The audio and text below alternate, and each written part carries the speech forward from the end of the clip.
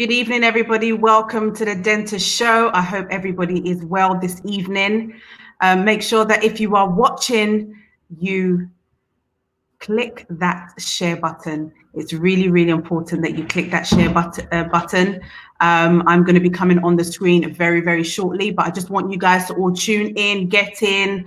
Um, if you're watching on YouTube, make sure you like and subscribe to the YouTube channel. If you are watching on Facebook, make sure you do a watch party with your friends and family. Tonight is all about fibroids, untold stories of women, symptoms, the effects, treatments, and our lifestyle. How is it affecting our Black women? And why is it affecting a lot of Black women in general? These are the conversations that we are going to be having um, today. We've got doctors on, we've got you know young people um, that have experienced fibroids, have had surgeries, and you know they're going to be sharing their stories with you. Um, so it's going to be a really packed, insightful, inspiring conversation that we're going to be having today. Um, so let me see if everybody is ready for me. Okay, I can see Khadija is on. Winnie is on. Winnie, how are you? Hope you're well. Um, okay, let's see. Let's keep sharing our pages, guys. Let's keep sharing our pages. Okay. Good evening. Today is Sunday and it's Social Sundays um, on the Dentaa Show. You know, Sundays is where we talk about social issues that affect in our community. Um, and I think it's really important that each and every time we talk about issues that, you know, sometimes we're afraid to talk about. Um, and I've got really amazing guests um, on today. And for me, how I found some of them were actually online. I hashtag fibroids and then I saw them um, on on Instagram, read about what they were doing. Um, you know, someone like Tanika, she's got this organization that has, you know, we can you can wear white too. I mean, that's so significant. Why is it that she's named it white? Um, and um, I'm gonna be talking to her shortly. Um, I've got Dr. Dan Salt, I've got Akria, I've got Womb Babe, Latoya, um, so many inspiring young ladies that are going to be sharing um, their stories today. Um, but before I bring them on the screen, as you know, I need to thank um, my sponsors, um, WorldRemit. Um, thank you so much for sponsoring the Dentaa Show. I can't thank you enough. There's like 5.7 million people. You can 5%, 5.7 million people that are sending money to Ghana um, by subscribing to um, WorldRemit. You can download their app. You can send the money via um, your laptop in seconds. They'll get the money. And also, I must say a big thank you um, to this amazing product. Now, look at this product, guys. Um, it's Glow Village. Okay, Glow Village is by Mami. She's based in the US. She's come out with this amazing shea butter product line. Um, I urge you all um, to go online. I'm just going to put her details in here. Go online and you know subscribe and buy some of her products. It's amazing. It's you can you can follow her on Instagram. It's Glow Village. Um, or on her website, it's www.glowvillage.com. Go and buy one of the products. Let's support our own.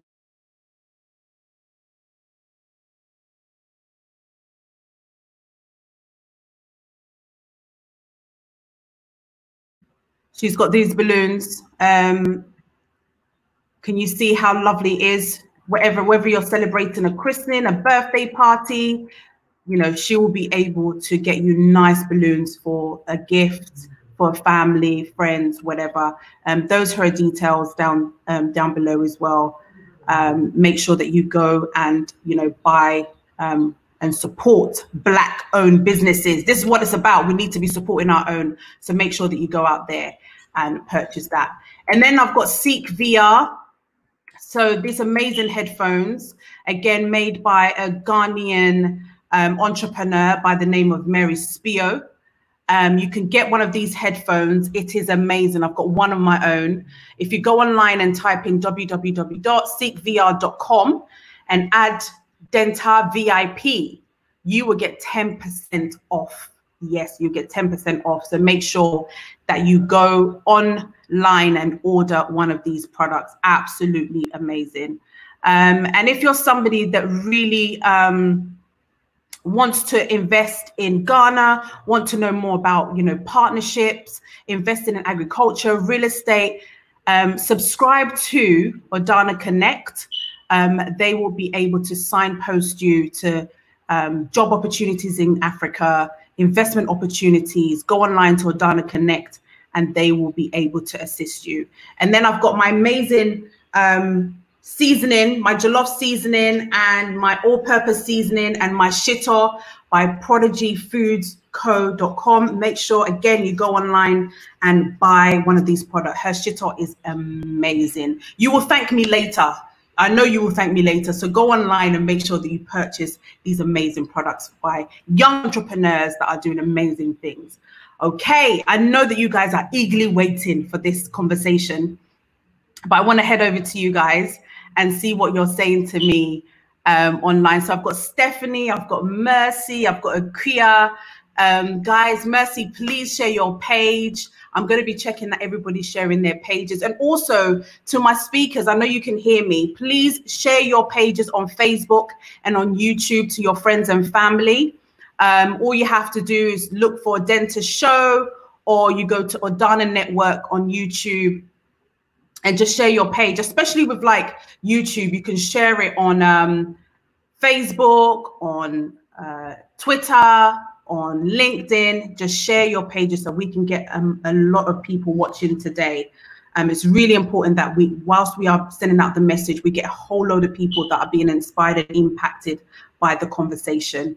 Hey, Akia. Okay, so I think I'm going to start you know, introducing my guest on. I know that you guys are eagerly waiting for everybody. And I'm thinking, who do I even start with? Because they're all so amazing.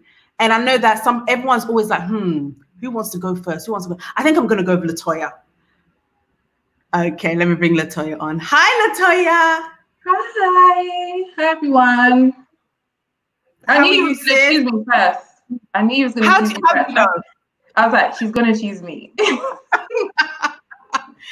Sis, um, thank you so much for joining me on the show tonight. I really appreciate um, all of you for, you know, um, at such short notice, um, confirming and being on today's topic. Um, I know it's something that's very um, passionate for you, somebody that, you know, I think it happened to you in 2015. Yeah, when I first got diagnosed, yeah when you got diagnosed um, mm-hmm. with So tell me a little bit about yourself, what you do. Tell me about your page, the Womb Babe, why you decided to call it that, um, and um, what happened with your journey. So my name is Latoya Basimba, everyone. I'm a HR administrator. Um, I decided to launch my platform Womb Bae. Um, the reason why I called it Womb Bae, number one, is everything related to the room. And because that bay word has been used all of last year and this year, so I decided to just add the bay to the room and just make just call it room bay because obviously it's my bay, it's my baby. I want to protect it. I want to take care of it. So that was my reason behind that name. Um, yes, I was diagnosed with fibroids in 2015. Had an operation um, to take them out but then they grew back again in the space of four years. So I had another operation in 2019. So the one in 2015 was in my pregnancy sac, so I had to remove that immediately. And then the one in 2019 was causing really bad pains and it was inside my uterus. So they had to take those two large ones out. So now I'm fibroid free, but I have to be careful because as the gynecologist said, they can grow back rapidly. They just don't know how it how it comes. So that's something that I'm still educating myself and finding what causes them to grow. Okay, and you know when you started your, your the womb babe, how has the response been to women subscribing to what you're doing? Um, to be honest, the whole point of womb babe, I just wanted to touch at least one person or even three people, but it was the response was so overwhelming. Um, a lot of women were just messaging me saying, Thank you for doing this because it's such a taboo. No one talks about it. And thank you for sharing your story. Because I did tell them my story and my journey up until now. So I did get a lot of direct messages, emails, and it was just overwhelming. And it was, I didn't expect all the love and support.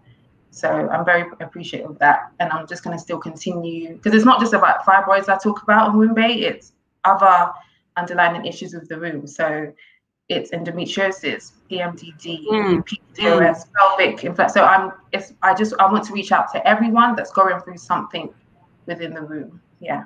That's why I created Fantastic. Yeah. Um, thank you so much. I'm going to bring you back on, but I want to introduce everybody one by one, and I'll okay. bring you back. On, yeah. Thank yeah. you so much, Latoya. Okay, so I think I'm going to go over to Dr. Hawkins. Hi, Dr. Hawkins. Hello, hello. Hi. Thank you for having me. Thank you so much. All the way from Jamaica. I'm going to Jamaica tonight. I'm actually in Atlanta right now, but I'm going to Jamaica. oh wow! Oh, thank you so much, Doc. Um, I really appreciate your time and just for me to even just you know dm you and you were just like yes let's do this and i know that you're very passionate about it you're a gynecologist yes. Um, but doc tell us what is fi- fibroid when people say what is fibroid Yes, so fibroids are actually the most common benign tumor in women. It is a tumor that grows right from the uterus. So the cells of the uterus harbor the cells that are able to make these tumors over 70% of Caucasian women and 80% of African American women will have fibroids at some point during their reproductive years. These tumors can grow in size and become symptomatic, cause heavy bleeding, pain, discomforts, bloating, make your abdomen look large. But many, many women are affected by these benign tumors. But, Doc, I mean, how did they develop in a woman? Like, what is it something that we're, is it our lifestyle? Like, how does it develop? Not necessarily. It's multifactorial. There is um, a genetic component to it. A lot of people think that it's hereditary, but we have some people that have it. I had it, and no one else in my family does. It's influenced by the things that we eat, some of the hormones that they put inside of our foods. There's research that shows it may be influenced by our cosmetic products or the products that we put in our hair our vitamin D oh, deficiency. Wow. There's a lot of different connections, but it's not just one thing for each person. And any woman, as long as you have a uterus and you have ovaries that make hormones, because the fibroids grow from the hormones that we naturally as women make, can have fibroids. So any of us can have it. Many women have it and don't even realize it. They're asymptomatic and they'll never know, maybe until they get pregnant and they see it on a pregnancy ultrasound. Is why is fibroids exclusive to just women? Is it because of our hormones? Correct, correct. You have to have the myometrium, which is the muscle of the uterus that is influenced by our estrogen and progesterone, which is the hormones that our ovaries make, and that is unique to women. So, the hormones that are our female sex hormones is what causes and influences fibroids. Okay, but do you find that it's more genetic? Are like some of the research showing? I mean, what is the stats in terms of more genetic or more diet or more food? What what is what is what is the I wish we knew. Yeah, I wish we knew. I wish we knew what that recipe was for each individual. I wish we could even predict to say what is your risk factor, with the exception of just knowing that certain um, ethnicities, African American women, Hispanic women are more prone to fibroids. Other than knowing that, we actually don't know if your mother and your grandmother and your aunt and cousin had it. What does that mean for you? Does that mean that you're 100% going to have fibroids? Not necessarily so. I have many patients who say, My mother had fibroids, but I've never been diagnosed and I have completely normal cycles. There's no reason for anybody to even suspect it. So we don't know. Isn't that sad? It's the truth, though. That's Only really. Only God knows. And and you know, because one of my friends had, uh, well, actually, my cousin, my friend, a few of them have had fibroids, and some of them have had the surgeries and have taken it out, and some of them look like a baby, like it's so yeah. big. Yes. Yes. What? How does it grow so big? Yeah. And the scary part is that it can grow big and you don't even know it.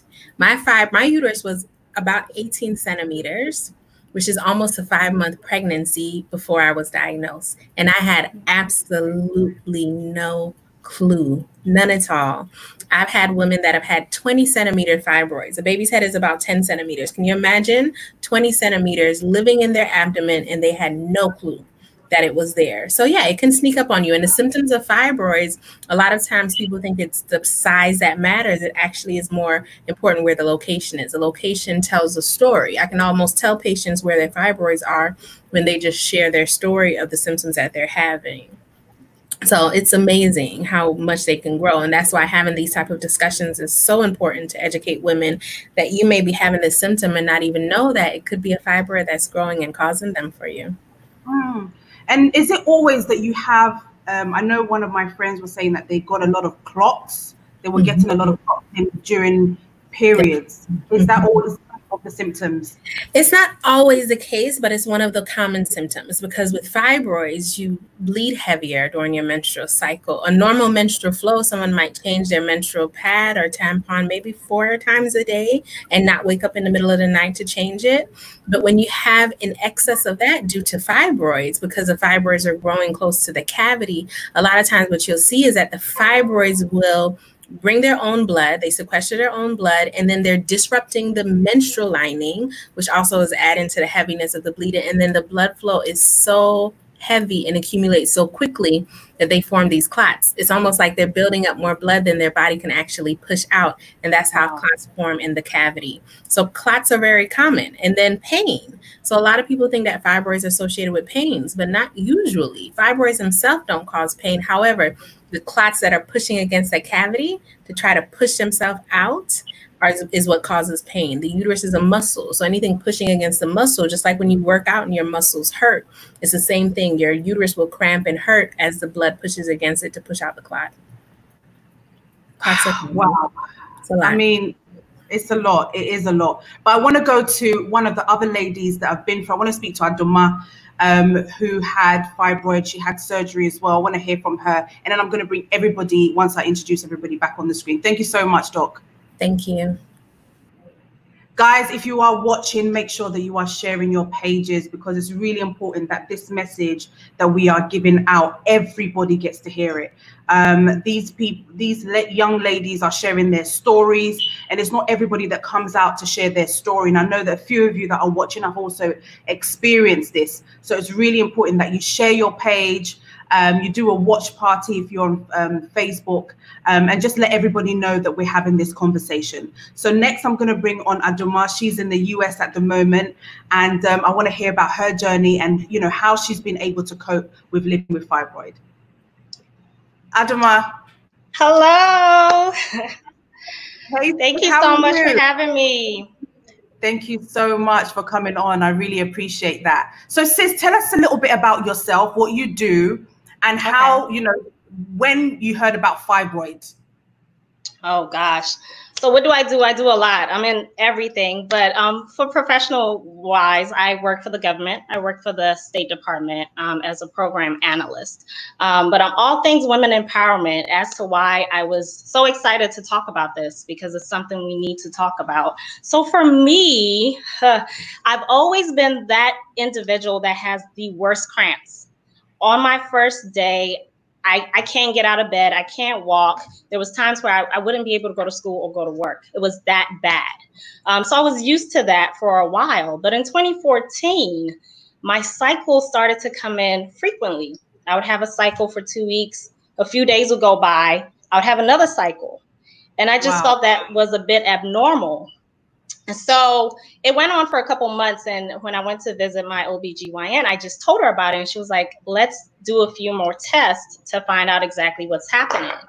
When that happened, that's when I was diagnosed with fibroids. So they found four medium sized fibroids. And um, hearing that was very devastating. At that time, I was 32. So early 30s is not something you want to hear and it's not something of the norm, you know. So my mom never had it, my sister never had it, so it was, it was very shocking. It was hard to actually accept it.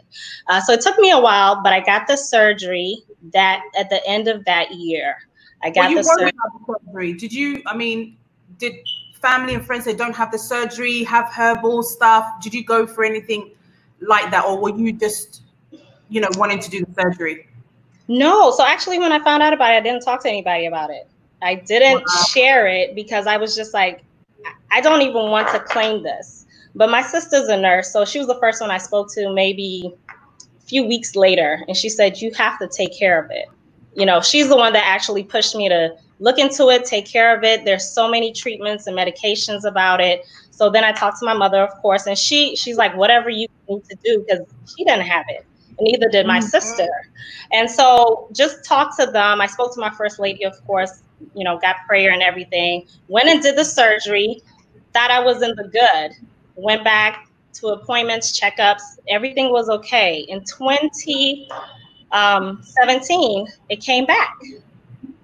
Wow. So it can come back. Even if you have surgery, it can come back. It can come back, and it did come back. And my um, OBGYN told me, which I do know. So we have to know our bodies. It's something else that we must know. I eat very poorly. I eat a lot of sugar. I eat a lot of junk food. I don't drink enough water. So I know this. And she told me, you need to change your diet. The first time around, that was the biggest thing. She told me, switch your diet completely and kind of, you know, empty out your body so that the fibroids can grow back because there's a potential it will grow back. And the certain foods that I eat will allow it to grow faster. So I didn't do my part the first time around. I know that. Um, but then I try to get better. So 2017, when it came back again, unfortunately, I did not do the surgery. So I am living with them. However, I've been able to control it. I've changed okay. my diet. I'm doing things in a better way. So I'm not experiencing what I was experiencing before. And thank God they came back smaller. They are okay. much, much smaller than they were before. So it wasn't a big scare or a necessity to get them removed. And she did tell me, you know, if you're considering having children, you know, you can work on your own organically and naturally to reduce them. So when you have your children, you know, we can remove them all at one time as a procedure. So I'm going I'm going through that route of it. And again, like I said, I don't have any issues now. It's just more so in the back of my mind when I'm eating ice cream and the cakes and all of that. And I'm like, okay, I need to change that. Replace my soda with water. That's a challenge, but I'm trying. That's hard. Hard. So oh my. So you that, literally have to change your lifestyle because of the fibroids so that they can reduce in size. Yes. So what was the first size? When you first got the first one removed, what were the the sizes of them? So to be I, I do they try to show it to me and I didn't want to look at them. That's how distraught I was. They gave me the pictures. To be honest, I don't even know where I put it because I think emotionally it was so heavy for me. I just recall seeing them all on the I guess it looks like a sonogram. Um, mm. I have the copy again. I do have it somewhere, but I did not want to look at it. Again, it was not large. Um, they, I can, you can see my hand. Yeah. They were the they were this size, and it was five of them spread out close to my uterus um, on the bottom end of it. Um, so again, you know, they ask you, do you want to see them? after they take them out and i'm just like no I, will pass on that you know i think just just learning that you've been diagnosed with fibroids can be very heavy to even take in um, and again as a woman in my late 30s i'm like well how do i explain this am i going to have to live with this forever what's going to happen you know when i meet someone i have to tell them this how are they going to accept me about you know accept me with it um, so again emotionally i just i I blanked out on it mm-hmm. and I tuned it out. Wow. Well done. Yeah. Well done you for changing your your lifestyle because I think it's something that is hard. It is hard to do, especially if you're going out with friends and th- people are eating certain foods and you're just like, oh my God, I can't have this. Um, it's very, very difficult. Um, but I'm going to come back to you, Adoma. I'm just going to go okay. over to Akria because Akria okay. had fibroids when she was just 22 years old and had it removed.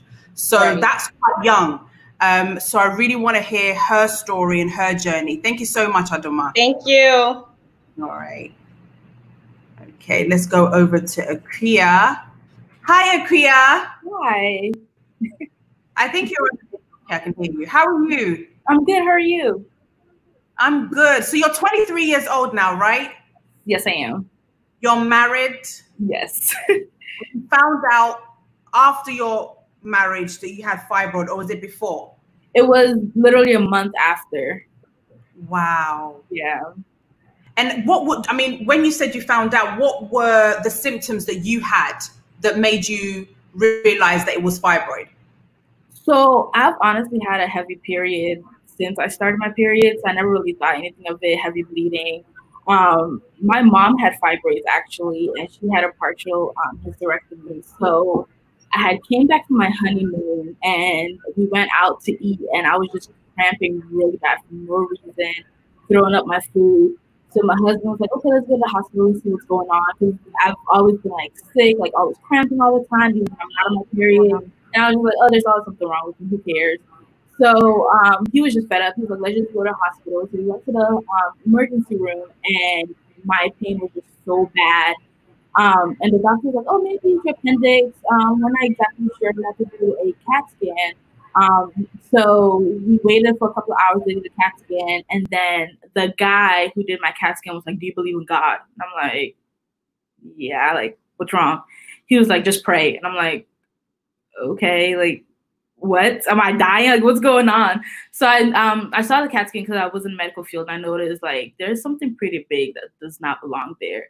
So um when it was time for them to tell me what was going on, the doctor said that the machines weren't working. So they're not able to give me my results. So they sent me home and they told me that they'd call me the following day and tell me what was going on. So at this point oh, wait, wait, wait. Going home, what were you feeling? Like because that is just traumatic the I fact that said I was terrified. Like my husband was terrified. I was terrified. I watch a lot of Grey's Anatomy, so I'm like, like, do I have cancer? Like the way the guy said it, I'm like, I'm like, what's going on? I'm only 22. Like I just got married. Like I'm freaking out. So at this time, probably like 5 a.m. So we go home, and then at like 8 a.m. I get a call, and the doctor's like, "Oh, um, your CAT scan results came back, and you have a mass in your uterus. Um, you have to make an appointment with the doctor, and she can explain it." And that's it. And then she hung up. And I'm like, so I call my mother and I'm like, they found a mass in my uterus. Like, I'm gonna die. Like this, this, this is it. Like, I don't. Is it cancer? Oh, like, no. um, so like we're freaking out. Um, so I make the first available appointment. It was, I think it was like a Saturday or Sunday. So I made the first available appointment on Monday to see my OBGYN and she said, Oh, it's just fibroids, it's not cancerous. Um, but she did say it was pretty big. It was a 15 centimeter fibroid that was sitting on top of my uterus. Um, and my uterus is like 10 centimeters, so it's basically crushing it. Um, and she, at that point, she was like, okay, well, you have like options. We can do birth control to shrink it. Um, we can try to um, get rid of the whole fibroid. If you want to have kids, you're probably going to have to go through the surgery because the way it's crushing your uterus, no child is going to survive in there. Um, so we decided that we're going to do the surgery. So I actually did the surgery. This happened in September. I did the surgery in October, um, and they removed the fibroid. And she left one of them in there because she said it was at the back of my uterus, and she didn't want to do anything to affect like fertility. So I still have one. Um, but my cramps have gotten better. I'm not bleeding as heavy anymore. So it has gotten better. Right now, I'm living with the fear of that small one growing because of how fast my other one grew. Wow. So you've had to leave one in there because of what, the position that it's in. Yes. Um, she said it was at the back of my uterus. Um, my doctor wanted to make sure that when I do get pregnant, I'm able to have like natural birth. Um, she had said that if she tried to get that one, there's the risk of like cutting into the uterus muscle and not being able to naturally deliver. Um, so she left it with the hope that it won't get as big by the time I have a baby. And at that point, if it does, we'll just take it out with the baby or see what other options I have. Gosh. So have you have you been able to change your lifestyle a bit in terms of are you what are you doing to kind of not let it grow? So until um, Adon was actually my aunt. So after my surgery, she came over and she brought me like all these fruits and vegetables, and she was like, "You have to change your lifestyle." I'm like, "I don't like vegetables. I I don't want to do this." Um, but after that, she told me like, "There's a lot of things that you eat that causes them to grow." I did. I cut out a lot of red meat. Um, doing better with eating vegetables. Um, I had I not a big soda person, so that was never a concern for me. I drink water anyways. Um, so I've I've tried to change my lifestyle to see if that would help, um, especially with like you know trying to get pregnant and stuff after fibroids. And I guess you've had a really supportive partner who has, you know, really supported you in this, which has been very, very helpful by the sounds of it. Yes. Um, he was terrified in the beginning because of how everything was going. Um, like even during the surgery, um, he was in the hospital the whole time. Like my mom said he didn't even get up to even eat. Like he was just sitting there waiting for the surgery to be over. Um, the surgery actually took longer than they expected, so he was freaking out. But my husband has actually been very supportive, like through the whole process. Um, when I'm on my period, even now, he's just always checking, like, "Are you okay? Are you cramping? Like, is your period heavy?" And I'm like, "I'm fine. Like, don't worry, it's okay. I'll let you know if anything's wrong." Um, but he's been very supportive. That's amazing. That's absolutely amazing. And Akui, I'm going to bring you back on. I want to bring Dr. Danso on because I want to know how doctors are, you know, telling people that they've got fibroid in such a manner, making it look like it's cancerous and they're going to die or something. Um, so, Dr. Danso, Doc, you're on mute. Hi, how are you? I'm good, thank you. I'm good. How how are you supposed to tell people when they've I mean, got fibroid? That, I mean, listening to that is just it's so shocking. I mean, this is it's all about communication skills. As, as doctors, you know, we we sometimes un- unwittingly, unexpectedly can be quite blasé about things because we see so many awful things so frequently. But I mean, that's just not how you tell somebody that they have fibroids. You can't let somebody go home not answering, not not knowing how where to go from there. And I think that's why this discussion is so important and why communication is also vital. We need people to be able to ask those questions, feel really empowered to to not feel like the doctor is here and they're there. No, not at all. I I always encourage my patients to ask questions so that they're informed because there's something that I know that I may assume that they already know but it's just not the case. So you've got to really try and be able to have a relationship where they can ask those questions so that they feel that their mind's not just going over and over worrying the worst case scenario. Doc, so have you come into contact with a lot of um, black women that have, you know, have fibroid and how has it been for them mentally? Yeah, I mean, it's something that I do see a lot. And um, interestingly, I see a lot of older women sort of I shouldn't say older women, actually, that's quite rude, but women that sort of coming up to 40 to 50 who have only just found out that they had fibroids because, like some of the other ladies have said, they kind of just dismiss their symptoms of having like heavy, painful periods. Vomiting, diarrhea, not being able to go to school or go to work, that is not normal. That shouldn't be happening every single month and that shouldn't be ignored. So in terms of mentally, they're, they're actually mentally and physically exhausted. So when it gets to the point where they're coming up to 40, 50, and they found out that they've got fibroids, they, they're just a bit like, you know, well, I don't really want to have surgery. I don't really want to, I want to know what the other options are, which is understandable. They're, they're almost kind of fed up, really, because they kind of got on with it. No one's really at times taking their symptoms seriously. So mentally, it's draining. And do you think Black people are getting diagnosed you know, quick quicker than you know other cultures? I mean, I mean, no. I mean, I can say that without hesitation. We've seen in the last few months so many inc- incidents where black people just are not getting the healthcare that they deserve.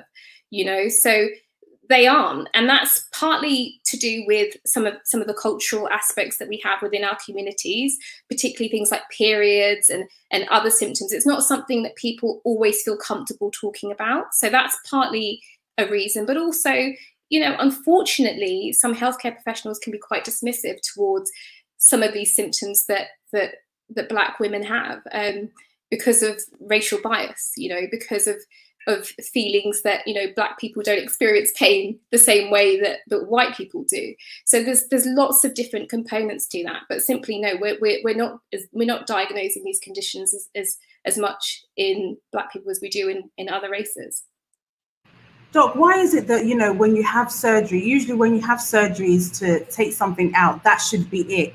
But it looks like actually the fibroid come again, but even bigger the next time. Yeah, I mean, I think I think it's important to say that that surgery is usually a last resort. Um, because with all operations, there are complications. So there are lots of other treatments that we tend to do before we even get to surgery. So um, it's important to stress that. So in terms of it coming back, so fibroids kind of grow and they're, they're hormone based and blood related as well. So anything that triggers the hormones to produce more, like we said, sometimes with um, foods, for example, it can grow. So you've got to try and do everything that you can to make sure they don't come back. So, for example, we know that it's also weight related. You're more likely to have fibroids if you're overweight. And that's something that everybody can do something about. So, ensuring that your your weight is within a healthy range is, is extremely important, not just for fibroid, but for, for general health, you know. So that, that's that's extremely important too. So you mentioned that surgeries would be the last result. So what are the result? What would you, um, what would be the first thing that you would recommend somebody to do? I mean, I think uh, it's always like a, a, a joint a joint effort. I always say. I always say, you know, patients try and make sure that they're exercising, lose weight, as I mentioned, trying to, to, to figure out what is what is the worst symptom. That's why that's why I always ask my patients, what's what's the worst thing about this? Is it the pain? Is it the amount that you're bleeding? Is it the nausea? Is it fertility? Because often people don't know that they have fibroids until they start trying. So it's important to kind of treat every individual every patient as a completely in, individual person because they all have different things that are bothering them more than others. So, um, in terms of figuring out where to go, it, it, depends. So, for example, women who are trying to fall pregnant, um, you know, you're not going to offer them contraception because yes, that will improve their bleeding symptoms, but they're not going to be able to fall pregnant. So it, it, does depend. But in terms of treatment options, we usually use contraception. We can use things like the coil, which I can I can talk about a bit more in detail later or now if you'd like. Just because again, there are so many um, stories that people hear about the coil. People hear horror stories and, and are not keen to use it, but it's an excellent, excellent treatment option for um, for heavy heavy bleeding um, yeah. as well. Yeah, no, I think we'll talk about the um, contraception now, and I'll bring um, um, Dr. Hawkins on um, when we talk about that. Um, but thank you, Doc. I'm going to go over to our next guest. I'm going to have Anawa on, my Nigerian sister, um, to talk about her journey with fibroid. Hi, sis. You're on mute. You're on mute. Mute. Okay. can you hear me? I can hear you perfectly. Thank you so much for joining me on today's show. Um, mm-hmm. And obviously, you've had experience with fibroid. Um, I know you're into um, wellness and health, and you know, even looking at your Instagram page, I know that you take fitness very, very seriously. How was your journey involved in terms of you know having fibroid and getting you know rid of it? Well, um, I had fibroids for a long time. Basically, what happened was I was going in for another procedure. Um, I had cervical polyps and I was getting them removed. In the process of them going in and removing the cervical polyps, they were like, you know, you have fibroids. You have four fibroids. And I was like, uh, okay. and that was sort of how I knew. But what I will say is that um, ever since I was a kid, like as soon as I started getting periods, my periods were relatively heavy. Um, the cramping was, you know, unbearable at times, but I just learned to live with it. I normalized. And when you say your periods were heavy, how many pads were you going for? I just wanted because some people may be having heavy periods, but what is heavy? Is it changing your pads frequently, like every hour is just totally soaked? Like what is what is heavy? Well, my heavy was unreal. If I talk about heavy in terms of when they really got bad, I was the first three days I was changing my because I, I was wearing tampons to start to try to control it. So I was wearing a super plus tampon and an overnight pad. And the first two days, I literally would be changing it every 45 minutes to an hour. Yes, when it got to be unbearable and it was literally like I was trapped in my house. Like I, or I had to be at a limited time to do what I needed to do because I needed to be back in time or be by a restroom in time to change my pads. Like, so it was excessively um, um, heavy. I was clotting really bad. Um, and the clots were big. And what I noticed is that when I had spoken about it, there were so many other women that talked about that as well.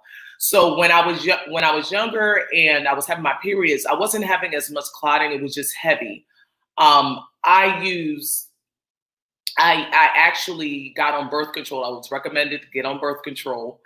I was on it for a while, but then after a while of being on birth control, which is I'm I'm really not a huge advocate of it because I honestly believe that it might have exacerbated my situation, made it worse. But um, you know, after a while, your body just it starts to reject it after a while. So I just was like, you know what, I'm done with this. I got pregnant with my twins, and that's when the fibroid situation came back into you know play because the fibroids were there and they were growing with my twins.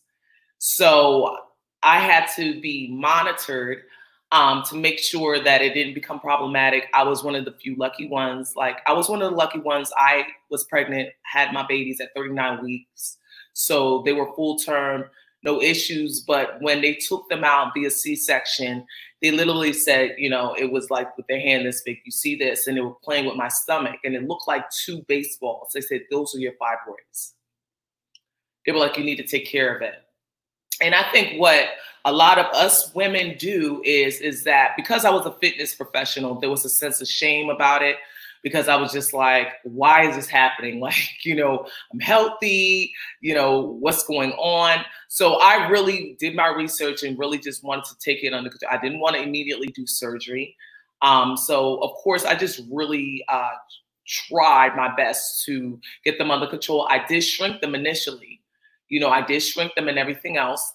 But what is not often talked about, I heard everybody talk about the fibroids and everything else, is that a lot of times the fibroids are worsened by stress.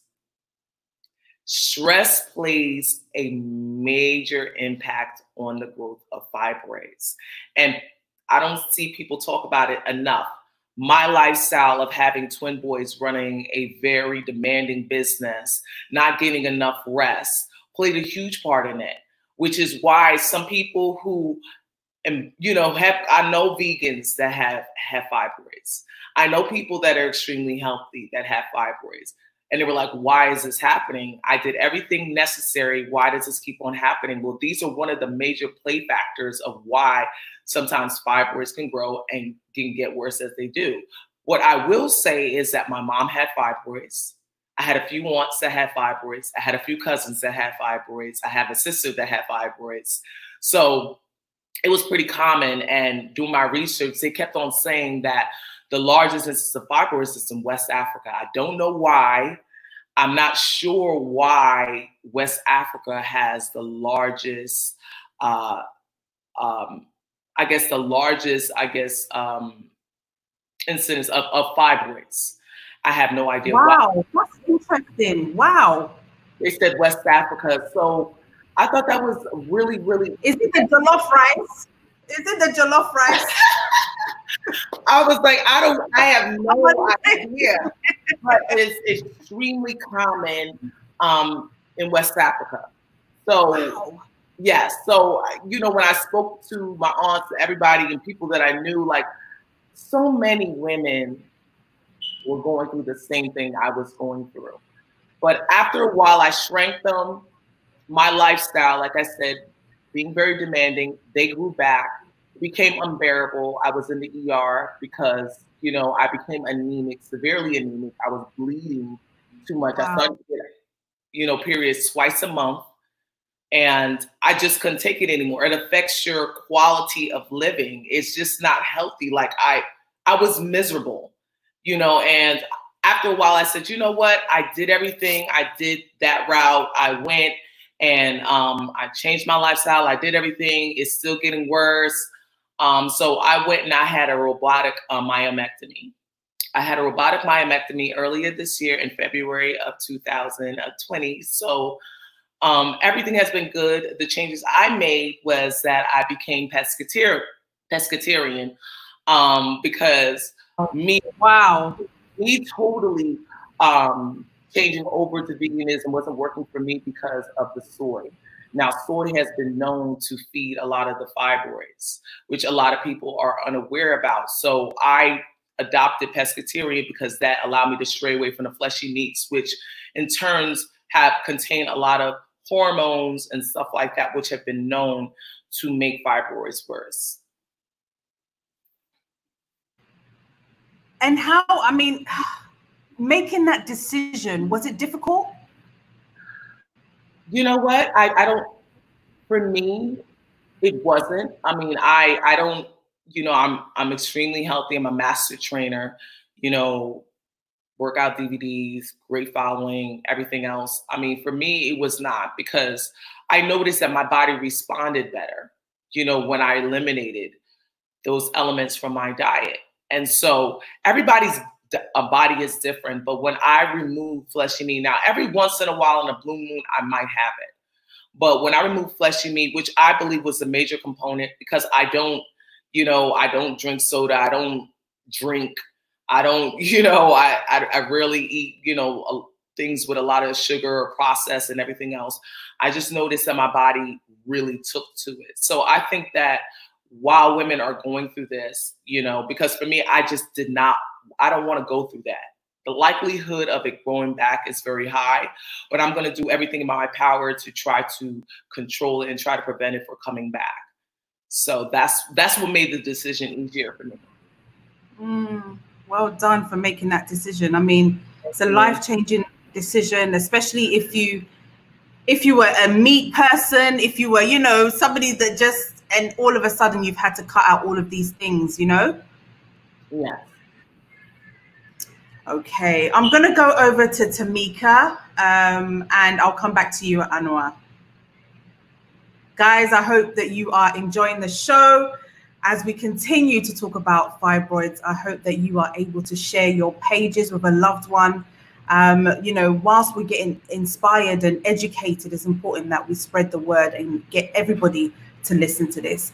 Um, and so I'm now going to speak to Tanika Gray, who is the founder of the White Project. Um, and so let's speak to Tanika. Hi, how are you? Thank you for having me. Thank you for coming on, sis. So tell me a little bit about yourself and your project. Yeah, I'm so excited to do so. So I'm Tanika Gray Valbrun, and I am the founder of the White Dress Project. I'm also a network television journalist. Um, so I really enjoy storytelling and really encouraging women to share their stories because my day job, you know, I've learned that the importance of storytelling is key and it can be so impactful. Um, so the White Dress Project, I'm so excited always to talk about it because it really is, has been an avenue for women to feel encouraged. All of the women today talked about um, so many things that resonated with me, um, having multiple surgeries, sacrificing their quality of life, the mental health component and mental health sacrifices, how we interact with relationships, right? So, how do we tell people we're dating? How do we talk to our husbands about this? When we can't hang out with our girlfriends, what does that become? What does that, um, how does that impact our mental health? Um, so I wanted to start an organization where women understood that they did not have to suffer in silence, that they were not in this alone, and that their stories mattered. A lot of the women earlier talked about, you know, how fibroids can make you feel lonely. Um, and you really are having all of these symptoms in your body that you can't control. And you almost feel like your body has um, abandoned you and you don't have any say as to what's going on in your body. So I wanted to create a space where women understood that, sis, you're not alone, you're not crazy. Um, doctors who are dismissing your symptoms, it's not right, but we are here to support you. I personally had uh, two myomectomies to remove fibroids. My first surgery, I removed 27 fibroids. Um, and my second surgery was done by Dr. Hawkins, who's also on the panel with us um, today. And five. Wait, wait, wait. Tanika, hold on, please. 27. 27. Yep. And the thing is, I've, I've always been pretty slim. Um, so I was that young lady that always, you know, slim, but always had a protruding belly, always looked like I was pregnant. And for me now, in hindsight, I'm recognizing how much that impacted my self esteem and how much, um, you know, I just couldn't get over that. And throughout the years, I learned how to camouflage my stomach. I would never wear white because I have always, always, ever since I've, I started my period, I've always had heavy periods. Um, so for me, something like, you know, summer Labor Day parties, wearing white, being social, it just was something that I didn't do. So I, when I started the organization, wanted to use something that for so long had been so negative and had been such a sore spot in my life. I wanted to turn that into something positive. And I understood that for me, it was a white dress. For me, I'm a girly girl, feminine, love dresses all the time, dress up. And for me, I realized that I had sacrificed so much of what I enjoyed doing by not wearing white. And you know, some people say, you know, you can't wear white, then wear black. But like I said, for me, it was something I enjoyed. I love clothes and I love dresses and I love to get dressed up. So why should I have to sacrifice um, the things that I like for benign tumors? Um, so that's why I started the organization to support myself, to support women. And all of the women who shared here today are the women who are in our organization because the, you know, while it's important to recognize that not every woman who has fibroids will experience the heavy bleeding and the pain, a majority of us do. Um, so the white dress resonates with a lot of a lot of women. Wow. So basically, you're encouraged because I know that.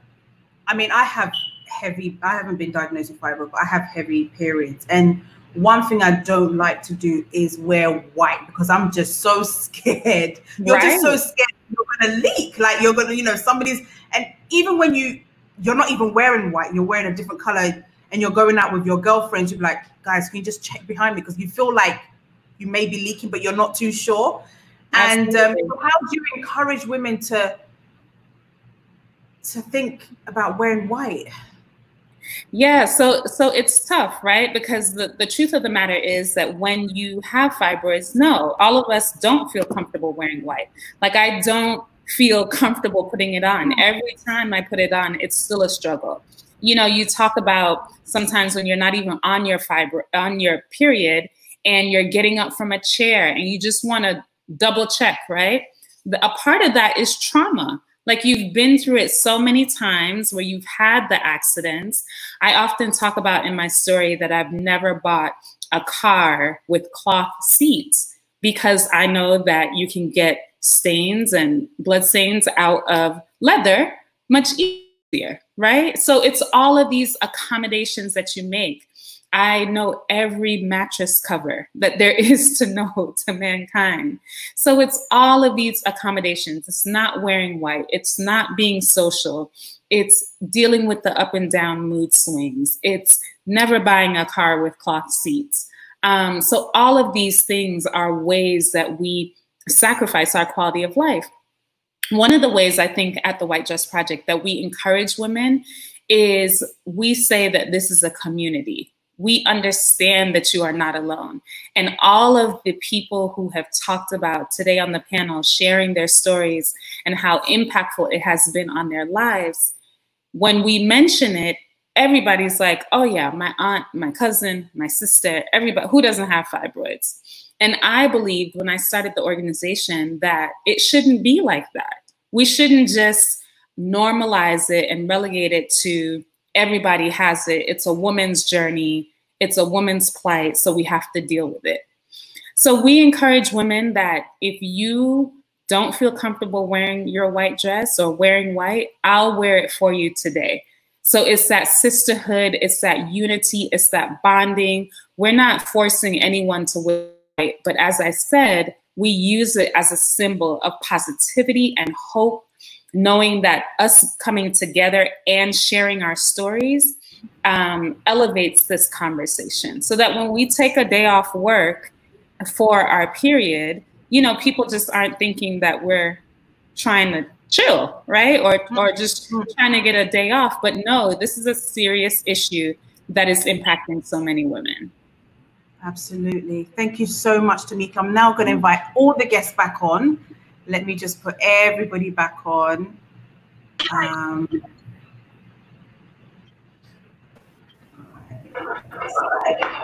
okay, fantastic. Um, Doc, I want to speak to my two doctors here. Um, a lot of women also message me, does contraception have anything side effects to do with um, getting fibroids? I'll start with Dr. Hawkins. So that's actually very controversial right? Okay. Because contraception is hormones for the most part. When we're talking about contraception, is synonymous with either progesterone or a combination of progesterone and estrogen.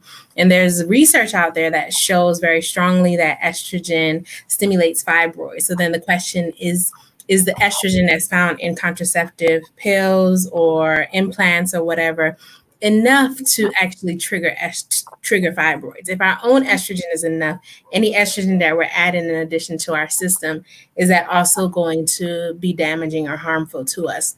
There's also research that looks at progesterone. They did rat studies very um, many, many years ago that looked at progesterone only and said that there's a possibility that just progesterone alone can stimulate fibroids. And we in the scientific community all have our kind of theories that we kind of, you know, um, will migrate towards. So it's the answer that I would love to say is um, a hard cut yes or no. I personally, in my patients that have fibroids, try to avoid hormones if I can. I might add it on the back end after I've taken care of their fibroids um, via some type of treatment. And then the the truth of the matter is that hormones early on can also help slow down the heaviness of the bleeding and the symptoms of fibroids. So then what position does it have to play for someone? Do you just let them suffer because you don't want to give them hormones or they don't want to take hormones and nothing else is a true option for them? Um, so it's very, it still is very controversial. Absolutely. Um, Doc, Danso, do you have anything to add to that? Yeah, I, I think I think that's completely true. The, the, jury's out on that, really. But, but what I will say, and I will stress, is that there's kind of like two ways to look at it. So there's there's, there's treating the symptoms of fibroids, and then there's removing the fibroids. So the, the hormones are actually, you know, we can use them, and, and in the UK we do use that first line um, to reduce the symptoms related to fibroids. But, but and then you know after that, then there's removing fibroids. So hormones don't actually get rid of the fibroids; they just kind of help with the symptoms associated with with fibroids. Okay, Chrissy, can I have that question back on the screen, please? Um, Dr. Hawkins, can you read this one? So, what other options will women um, who want to have children do? What other options do they have? So that's the thing. That's the catch 22 about it. If you want to have good, effective contraception, then you have to have good, effective contraception. you have to have some type of hormones. Now, they have lesser hormones that have lower doses. We have one here called LOLO. There's intrauterine devices, which I think may be the same thing as a coil. Yeah. Okay. Which I'm a big fan of. And um, if you have fibroids, you may be a candidate for it. It really depends on where the fibroids are. If they're in your cavity, your doctor might be hesitant about putting in an intrauterine device because of you know complications that can arise from that. But that's an option as well. And that's the lesser dose of hormones. There's NuvaRings, again, lesser dose of hormones um, may fare better for these individuals. The catch 22 is that sometimes you need higher dose to actually help with the heavy bleeding or actually get a tighter control of the um, symptoms of the fibroids. But you have to do what you have to do. Condoms aren't necessarily reliable. Barrier contraceptives are not necessarily, you know, reliable. The rhythm method certainly is not reliable. So, what do you do yeah. for these patients? Mm, mm. I think I think the end of the question was just kind of what do you what are the options? I mean, the other thing is if the if the fibroid is located in an area that's going to affect fertility, then we would certainly look at removing that. Mm-hmm. But but I also want to stress again that having fibroids doesn't mean that you're infertile. That, that definitely isn't the case. We've heard some, you know, wonderful stories of, of people conceiving and having twins. I heard, I think earlier.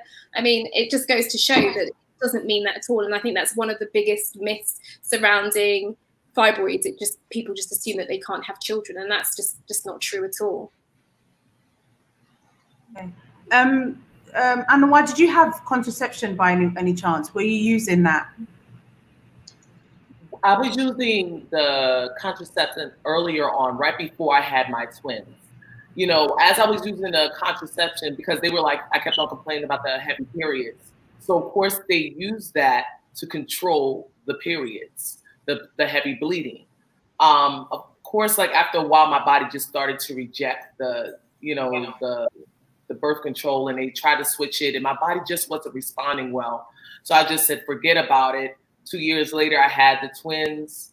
I mean, not twins, but I got pregnant and, um, you know, they grew with the baby.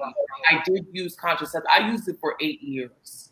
I used it for a long time. And just to be quite honest with you, after I had the twins, and you know the bleed the bleeding sort of resumed, they tried to put me back on birth control and I went on the Mirena and I just, I don't know, your body sometimes, everybody is different because there are people that I know that had positive results. But when I went on the Mirena, it was a nightmare. You know, I was having all the side effects, you know, the crazy thoughts, you know, depression, bloating. It was just crazy. So I said, I, I, I'm just not going to get on anything. So I, I removed myself from um, with the birth control. And like I said, um, I think she also mentioned the whole thing about um, you know, people's, you know, I guess issues with birth control. I mean, that's that was sort of my reservations with birth control because I believe it exacerbated. I believe it made it worse. And that's just my opinion about it, you know. And so, you know, people have talked about even veganism. I'm not a complete fan of veganism because of, there's not many options. I'm a fitness professional, you know, and I can't really have soy. I truly believe that soy also makes fibroids worse. So I adopted pescatarian as a, he- a healthy medium. So I think you have to find what works for you. But I've done a lot of research. I've also worked with doctors. It's good to see more African American doctors because you know everybody else is quick to send you you know under the knife. They didn't give you too many options. It was always like take birth control, and I just was not for it after my experience.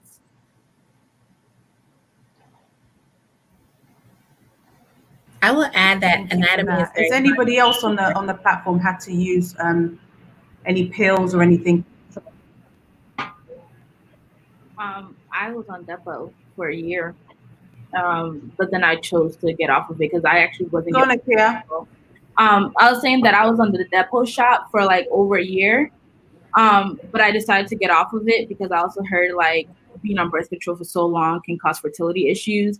So I chose to not do birth control at all. But my doctor did recommend for me to go back on birth control when we found out about fibroids, and that really wasn't an option for me either. Mm-hmm.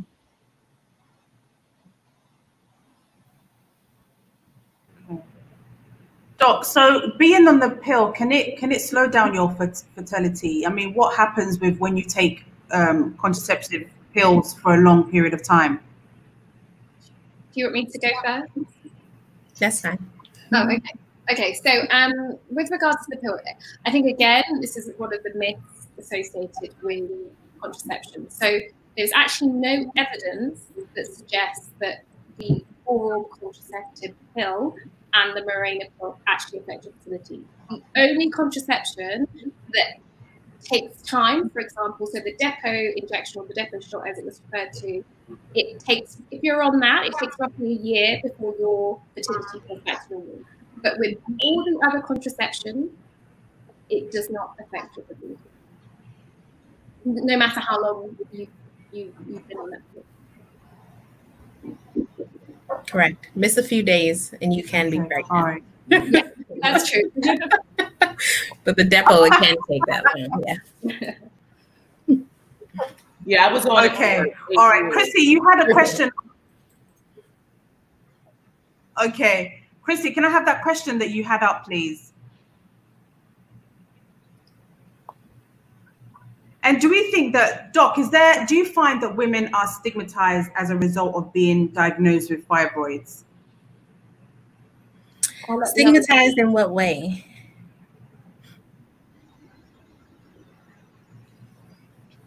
Oh, um, being, because every, people don't want to talk about it okay? And why is it that they don't want to talk about it? Is it is it a stigma behind it you know that you've got these kind of like tumors or sometimes somebody even had a scan and looked like a baby you know um that's growing in you. And so there's some type of stigma that you know that's is that's involved in it.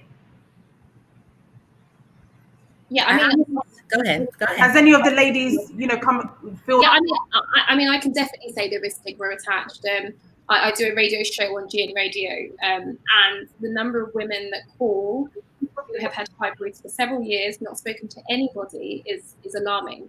Um, and I think it really is because there is a perception that having fibroids means that you're going to have problems with conceiving. Um, and, and that, that's just not that's just not true for the most part. So I, I do think there is stigma attached, particularly within um, the African community.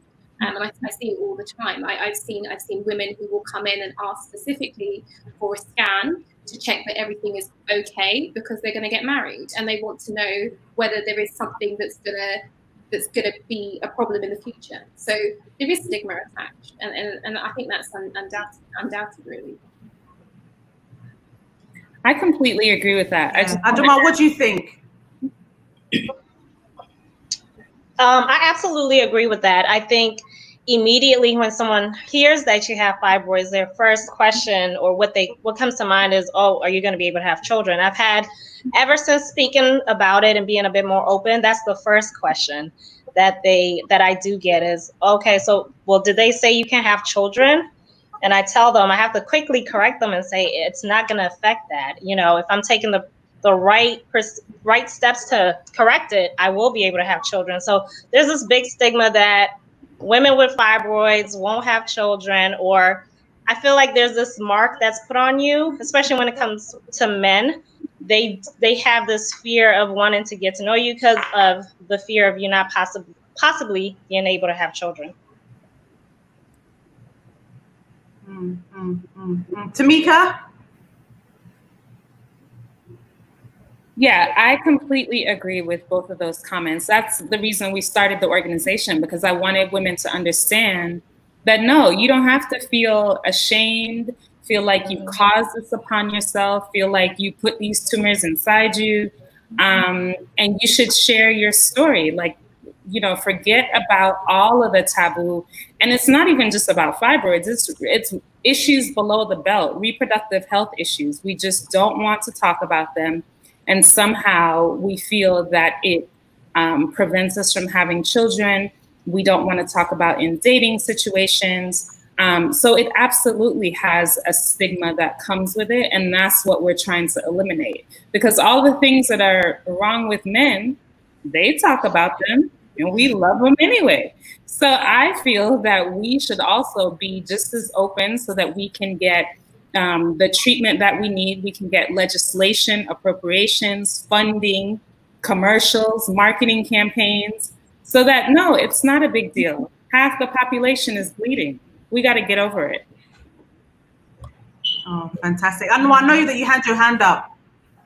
Yeah, I mean, I think one of the important reasons why I decided because I was very big, I was suffering in silence. I was really going through. And I think that after a while, there's just a stigma because I was a, a master trainer, I'm this health professional, and everybody looked up to me for these things. And it's like, this I believe would initially I thought it would become problematic for me to come out and share it. But once I had the twins, I don't know, it, it, something in me was like, this is this is bigger than me because you know I had twins, and when I would go on forums, the number one thing you would hear is women's concern about fertility, about having children, about the possibility, can I have kids? And so I thought it was very important. It was like sort of like the light at the end of the tunnel. Look, I have I had twins, you know, with five boys. they grew with the babies now, but I had, and so once I came out, it was, I mean, overwhelming that women are like, oh, okay, you know, okay, you can have kids, you know, it's possible. I'm like, my mom had fibroids, you know, my sister had fibroids. We, we all have kids, you know, it, it is very possible to have it. I think that stigma behind it because it's not talked about. And like I said, it's a, it's a very depressing situation um, to be in, you know, and I'm glad that we have forums like this so we can share it because I think that's our main concern. And also you just don't want to go into a relationship feeling like, you know, because people are not as educated about the topic. So now it's sort of like, you know, when they when you're in a relationship, I've, you know, seen a lot of forums, a lot of people's biggest concern is like, you know, the men are like, uh, can you have kids? That's what they think. And that's what I initially mm-hmm. thought myself before I had my twins. So mm-hmm. I think more women, and it's a lot of us, a lot of women who have children. Mm-hmm. I think more, more and more of us come out, it can give, you know, segue to these kind of conversations. Absolutely. And so, um, Dr. Hawkins, does the panel have any comments on the suggestions that hair relaxers cause um, fibroids? I remember reading a study very specifically looking at that, um, that basically talked about the paraffins and some of the um, additives that are in a lot of the cosmetic things that we use, very specifically hair relaxers, and that those um, so I won't use the word poison. Those additives um, mm-hmm. actually will seep into our system and can be harmful to um, our uterus, our cells, and, and have these uh, effects that can help fibroids grow. So there have been studies that actually have looked at that very specifically. They weren't large studies, they weren't randomized studies. They weren't studies that, from a scientific perspective, we'll see in the New England Journal of Medicine. However, they looked at a very important topic for the African American community, and it did show some connection. You know, there there there are many connections to pesticides to preservatives to canned foods to processed foods mm-hmm. and we've already talked about on this panel red meats beef and pork and the amount of additives that are put inside of that um, that we know are not good for our overall generalized health, but certainly are not good for our womb health either. That's why many of us have gone natural. that is specifically why I went natural. I had fibroids, and after my fibroid surgery, I did everything that everyone else on this panel did, including I stopped relaxing my hair. Wow, wow, wow. Latoya, I want to come to you. When you're getting to know someone new, do you try to be open with your past experiences with fibroids, and how do you go about that? Um, not everyone. Maybe if it's someone I really like, then I will, or if it's getting serious, then I will explain. Because sometimes you don't want to be telling every, all, your all, and then it just doesn't work out. So I've I've been protective of that um, even before when I first got diagnosed, it was my brother I called because I was so devastated. Like I literally, when the guy, when the gynecologist told me it's a fibroid, it's in the pregnancy sac, again, dark thoughts started coming like, I'm not going to be able to get pregnant? Who's going to want me? Things like that. So as soon as I got into my car, I literally cried on the phone to my brother because that time his fiance was pregnant with my niece. She's four now, but at the time, I think they just didn't know what to do or even behave around me as the years went by. So I've always said if it's someone that I deem that's going to be serious, then I will say this this is a situation. But most of the people I've dated and things like that, because of having period pain like every month, it's like I'd plan my days or plan events around my period. So, for example, if a friend was having a birthday or family members, oh, I oh my birthday is in two weeks' time. I'd be like, oh, my period comes around that time, so I'm not sure if I'll be able to attend. I just attend, and I just used to think that's not normal because I know every period, the first two days was bad, rolling over the floor, vomiting, um, sweating. It was it was really mad and it was crazy and I'd cry every. I was I used to be afraid of my period. Like I don't know if any of you guys have felt that way, but if I know my period's coming, it was a fear that I just did, and so it made me depressed. At the time, I didn't think it was depression, but looking back now, it was depression. I didn't want to go out. I used to say to my cousins, "Oh, I just want my room out. I don't care anymore," because it was just really bad and it was mentally draining. Um, the heavy bleeding, because I'm slim anyway, the heavy bleeding caused me to have anemia. So I lost a lot of weight as well. I'm already slim, so losing weight. So people would see me and be like, oh my gosh, Latoya, what happened? But I'm not going to tell everyone that I'm dealing with fibroids. It's just the ones that know, okay, she's, you know, she's anemic. So it's loss of blood. That's why she looks so slim. So my weight used to fluctuate up and down, up and down. Some people gain weight, but I was the opposite, always losing weight. Yeah. Can any of you, um, you know, testify to that? You know, the fear of having your period every month. I don't mind. Did you? Because I saw you nodding your head. Was it something that you also experienced? Absolutely. Um, the pain is so bad that I, I just didn't want to deal with it. So yeah, there was a fear, and with mine, I at times I don't know when it's coming. So the fear of it just randomly showing up with extreme pain and just knowing that I can't really control it. Um, I was supposed to take only three ibuprofens at a time. I usually take five. I hate to say that because it's not healthy, but the pain is that bad. So I definitely have nightmares. I'm always going through my calendar like, uh, it's gonna be here next week. Let me start. So I prep in advance taking the pills for it. And just like Latoya, I'm skinny and frame. So at times I have this belly that's just there, you know, that it's very painful. So even trying to deal with that and wearing nice clothes um, can be an issue. So just the fear of that, trying to work around all of that, putting on two Spanx to look normal. So there's a few few things when it comes to the cycle. Mm-hmm.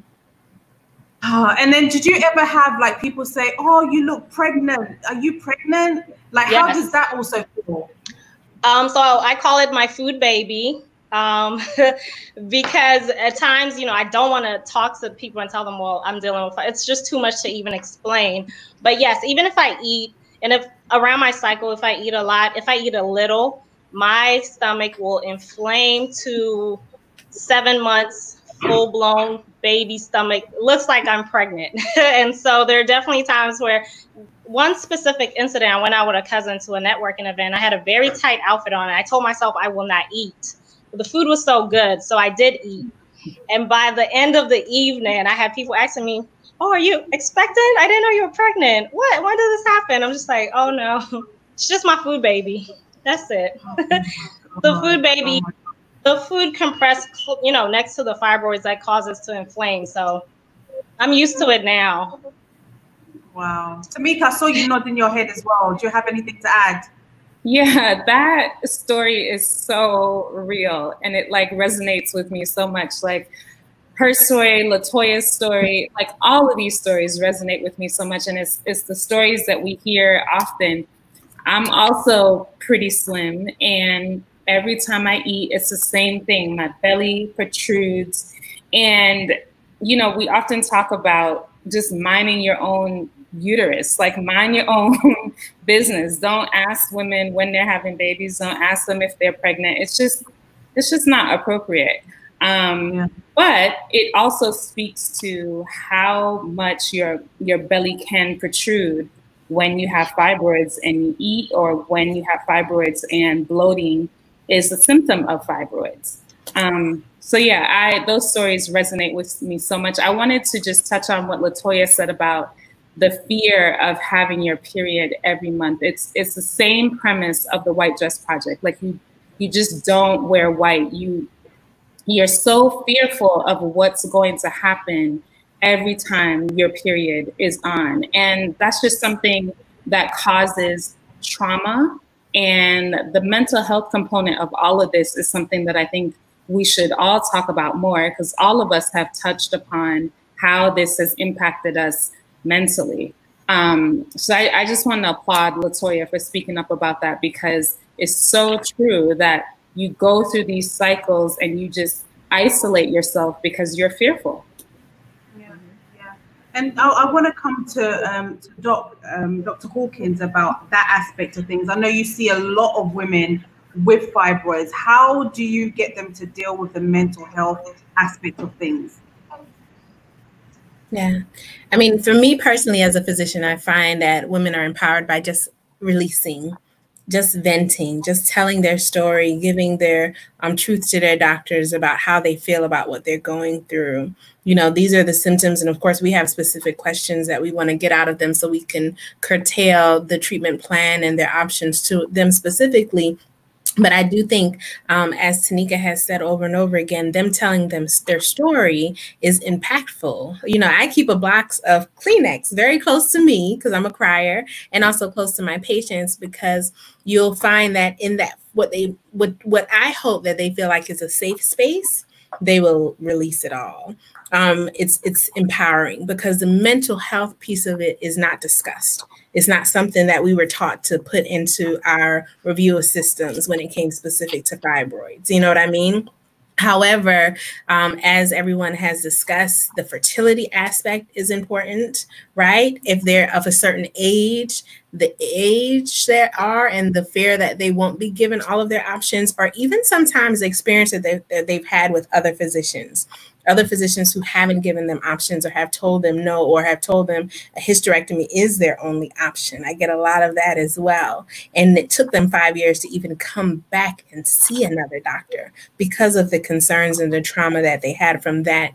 Um, experience where they felt dismissed. So, as, as physicians, I know um, that the ones of us who actually care, especially about this component of women's health, that time that they spend with us to release and actually um, tap into the mental health component is very, very, very important, extremely important. And that's why I think it's important that we participate in these type of forums, that we educate, that we talk to our communities, that we talk to our husbands. When husbands come, they're not just coming to ask me questions about sex. you know what I mean? They are asking questions about sex and fibroids, but they also want to know what's going on with my partner why is she mm. feeling like this once a month? What can I do to help her? All of that is very empowering for us as women. Yeah, but docs, are you seeing a lot of men supporting the women as well? Are they coming to the clinics with them, or so, are the majority shying away from it? Uh, the majority shy, but not necessarily because um, they wouldn't. Sometimes we don't give them the invitation to, right? Sometimes we don't talk to our partners about our um, below the belt topics when it comes to menstruation. We don't want to, we don't feel comfortable doing so. They show up at the surgery. You know, I'm, I'm a surgeon, so primarily people that come see me are at their wits' end and they're ready for a surgical intervention. They'll show up then, and when I show them the pictures and say, "This is what she had inside. This is what was going on. This is why she said, you know, how she was feeling and she wasn't just being lazy or trifling or whatever you thought then they are then they kind of you know the light bulb goes off. So they a lot of mm-hmm. times will get on board when they get to the point where they feel like their their wife or their girlfriend or whoever it is has made a decision to do something. Um, i would like to see more men help in pushing us in that direction but we first have to let them in.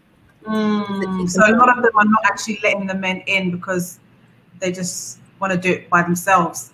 Mm-hmm or they're concerned about everything that everyone has stated here today. Mm-hmm. I was diagnosed in my first year of marriage, and my number one concern was my husband didn't sign up for this. Mm. Yep, absolutely. He didn't sign up for this. Right. You know I mean? yeah, so, yeah. And I guess that's what Akia you went through. I mean, you got married at 22. In your honeymoon, you're finding out that this thing is happening to you. I mean, how is that? Like, how is that feeling like? So it was embarrassing, mostly because even before we got married, um, I had a pap smear done, and my doctor said like I had abnormal cervical cells. So like my husband and I have been going through like things like below the belt conversations. We had it before we got married, um, and it's always been hard. To, like to go to him was easier than to go to my family members. So I've always had his support 100% no matter what I was going through. Um, he pushes me to see the doctor more than I personally want to. Um, when my period was bad, I don't go to work. He's like, go to the doctor. I'm like, no. They're gonna tell me the same thing they've been telling me since I was 16. It doesn't make a difference. So my husband has been very supportive, and he's the one who pushed me to go to the emergency room to begin with, because I would have just passed it off as, oh, it's just something that I've been going through for so long. So I'd never really paid attention to any of that stuff. And many of our husbands support it if we give them the chance to. Mm-hmm. Mm-hmm. Yeah, absolutely. But it's, it's 22. Isn't that 22 a very young age? Or have you seen younger people? Have you seen any younger people, Dr. Danso or Dr. Hawkins, come into your surgery to say that they have um, fibroids? I mean, yeah. So, I mean, fibroids are associated. You know, one of the, I wouldn't say causes, but we know that people that start their periods much earlier are more likely to have fibroids. So, with that said, you are going to have you know we're seeing you know we're seeing people as young as 9 10 starting their periods so we are we are seeing younger and younger people having having fibroids which is why i, I can't stress enough that you, nobody you know if there are mums watching if, if sisters aunties and, and you know you know someone that's having you know symptoms of painful heavy periods where you know we've heard somebody's doing it's completely debilitating. That is not normal you should not have to go through that every single month for the rest of your life no, you need, and it's your body's way of telling you something is up. So that's how you need to seek help and see what's going on. So don't ignore those symptoms at all. Take it really seriously. I started my period at eight, the age of eight years old. Same. Who said same? I started my period pretty early. Yeah. Really? Wow. And yeah. that was traumatic for for me and even now my daughter's eight and i'm just i'm praying every day that god please don't let her start her period because at that age like i remember being at school and i thought i was dying so my mum had never spoken to me about periods before mm. and i remember my belly was hurting i went to the toilet and I was like, I'm dying. I was screaming because I just saw blood. I was like, I'm dying, I'm dying. And the next person I was in the toilet went to get the teacher and the teacher came and said, No, you're not dying. It's, it's, it's, your period. I was like, Oh my God, period. What's that? And, you know, my mum came to get me. And I remember every month I hated going to school because I knew that I would leak.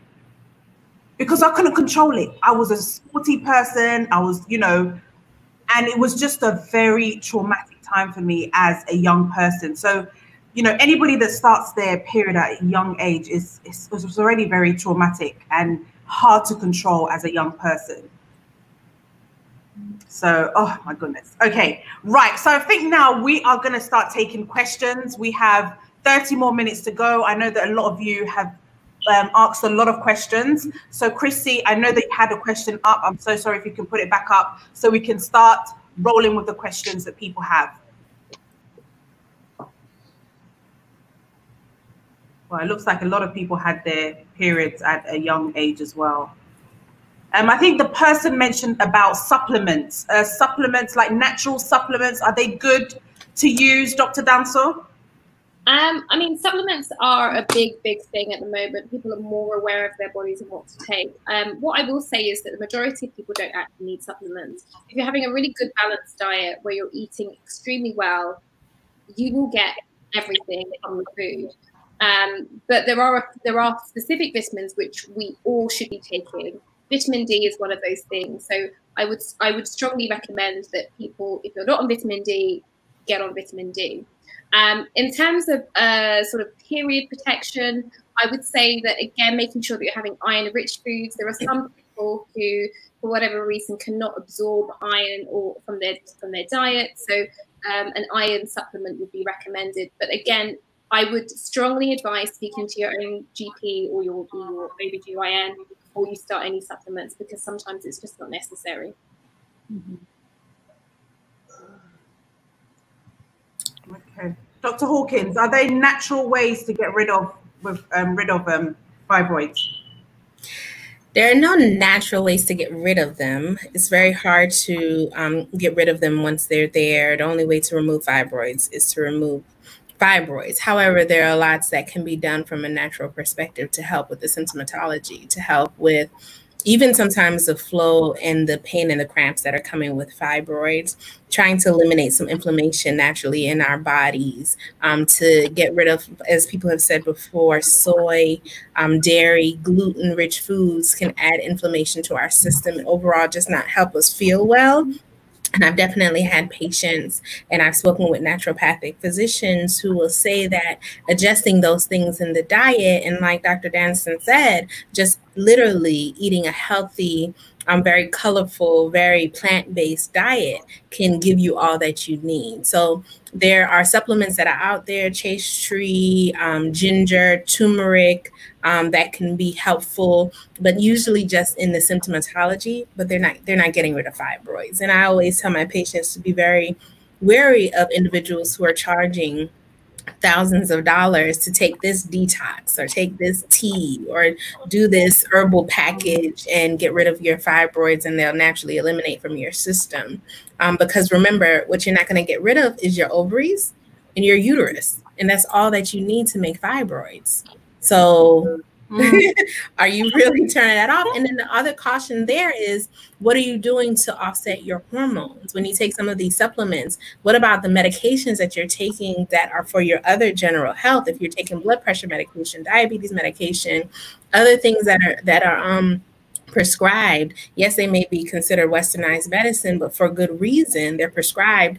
Are these supplements affecting those? Or are these supplements possibly doing you harm by offsetting something that is essential for other functions of your body? So, supplements are not something I tell my patients you can't do. I just tell them to have caution when they're doing it.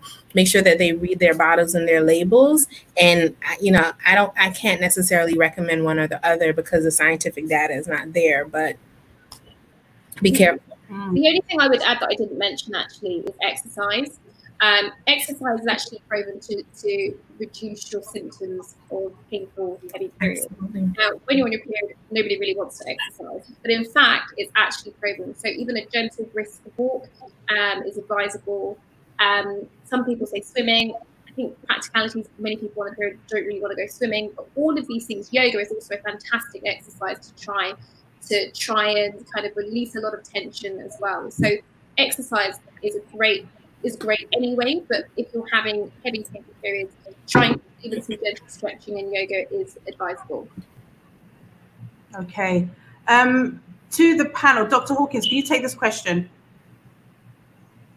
So the, the HRT, hormone replacement therapy, does it contribute to the formation of fibroids? Been on hormone replacement therapy for over a year how um, do I make sure I'm not affected? So, hormone replacement therapy, usually when we speak of hormone replacement therapy, we're usually talking about a postmenopausal woman and hormone replacement therapy. And believe it or not, the hormone replacement therapy, the amount of hormones that are there are much less than we actually naturally produce in our premenopausal years. And after menopause, you are no longer making an amount of natural estrogen that should be affecting your uterus in the cell, your uterus in the cells to produce fibroids. So there's not a lot that is thought to be um, additive with hormone replacement therapy in a postmenopausal woman that should cause their fibroids um, to grow, but it can cause some persistence of symptoms and it certainly can inhibit the natural shrinkage that should come after menopause. So for postmenopausal, I've seen postmenopausal women who are on hormone replacement therapy to help with their menopausal symptoms that will have spotting, which just leads to other concerns and issues. Is this cancer? We got to work that up. But in reality, it's just that the fact that they're still feeding their body um, estrogen and is stimulating these fibroids. So unlikely to make them grow or to grow new ones because it's just not a high enough amount to do so, but it can um, stimulate ones that are there if you're not careful. So hormone replacement therapies can kind of mix up the pot for a postmenopausal woman. Okay. Um, um, I have had, I have never had cramps since I started my period at the age of 13. I never had symptoms, only got diagnosed in 2018 after reporting a bloated belly. Surgery has been recommended, and I'm really anxious. Your advice, especially to the, um, I don't know, uh, Latoya or Tanika, that you know you've been through this. What would your advice be for somebody that's really anxious about having surgery? Well, I would definitely say get multiple opinions. Um, I always talk about, you know, finding a doctor is really like dating. If you don't find someone who is invested in you, who is um, wants to meet the same outcomes that you want to have, then you got to keep it moving. Like that's not the person for you. And I often look at my doctors and the health practitioners who are in my life and I say to them, are are you serving me that way? Because I do believe that it should be a partnership and not just um, they tell me what to do and that's it. Um, so for someone who is anxious about surgery, I would definitely say to seek multiple opinions. And as someone else suggested on the panel earlier, you really have to be clear about what you want your outcomes to be, right? So not every woman wants to be a mother. So there are certain routes that you take if, if that's not the case. If you do want to be a mother, then there are other routes that you take. So being clear about the outcome that you want and then gathering all the data from from multiple opinions. Okay. Anybody want to, Latoya? For me, um, so my first operation, I had a lady, and the aftercare, she was just terrible. Like how she treated me. So I was just, I said to myself, I actually don't want to. Although she did the operation, everything went it's just her aftercare was really bad. Like the second time I went to see her. So from there, when I got diagnosed again in 2019, they did recommend her to me. And I said, because of how she treated me the last time, I really, so I was anxious because I felt like there was no other gynecologist um, surgeons to help me. So there was this nice, like Tanika said, it's obviously asking for different opinions, different. So I did research a doctor who was a male doctor mm-hmm. and who was amazing. And he was an African man, he was amazing. Even I was still scared and anxious because this is the second time. Although I've done it before, you're still scared because you just don't know. And I hate going under. And I just said to myself, this is the last time I'm going to have an operation. I don't have kids, so I don't want to go back to the hospital until God gives me kids. Do you know what I'm saying? And so, like Tanika said, weigh your options, seek different kinds of gynecologists, re- research them because they can be on the hospital mm-hmm. website. So that's good. If you just try it and then again, if that's the last resort, then do the operations. I had to do the two operations because the first one was in the pregnancy sac, which was dangerous. So they did say you would have to do that because if you want children, you will miscarry every time the way it's placed. And the second time was in the uterus where they said again, having babies, it could grow the baby, you know, I could so they just said remove that. That's why I did those operations. I feel like if they weren't in those places, I don't think I would have had the operations, but they were in bad places. So I had to have them. And they were fine. Each, yeah.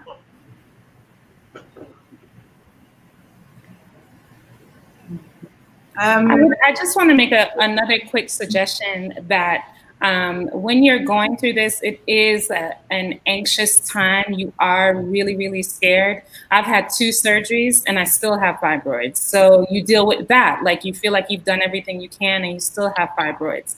What I would say to women um,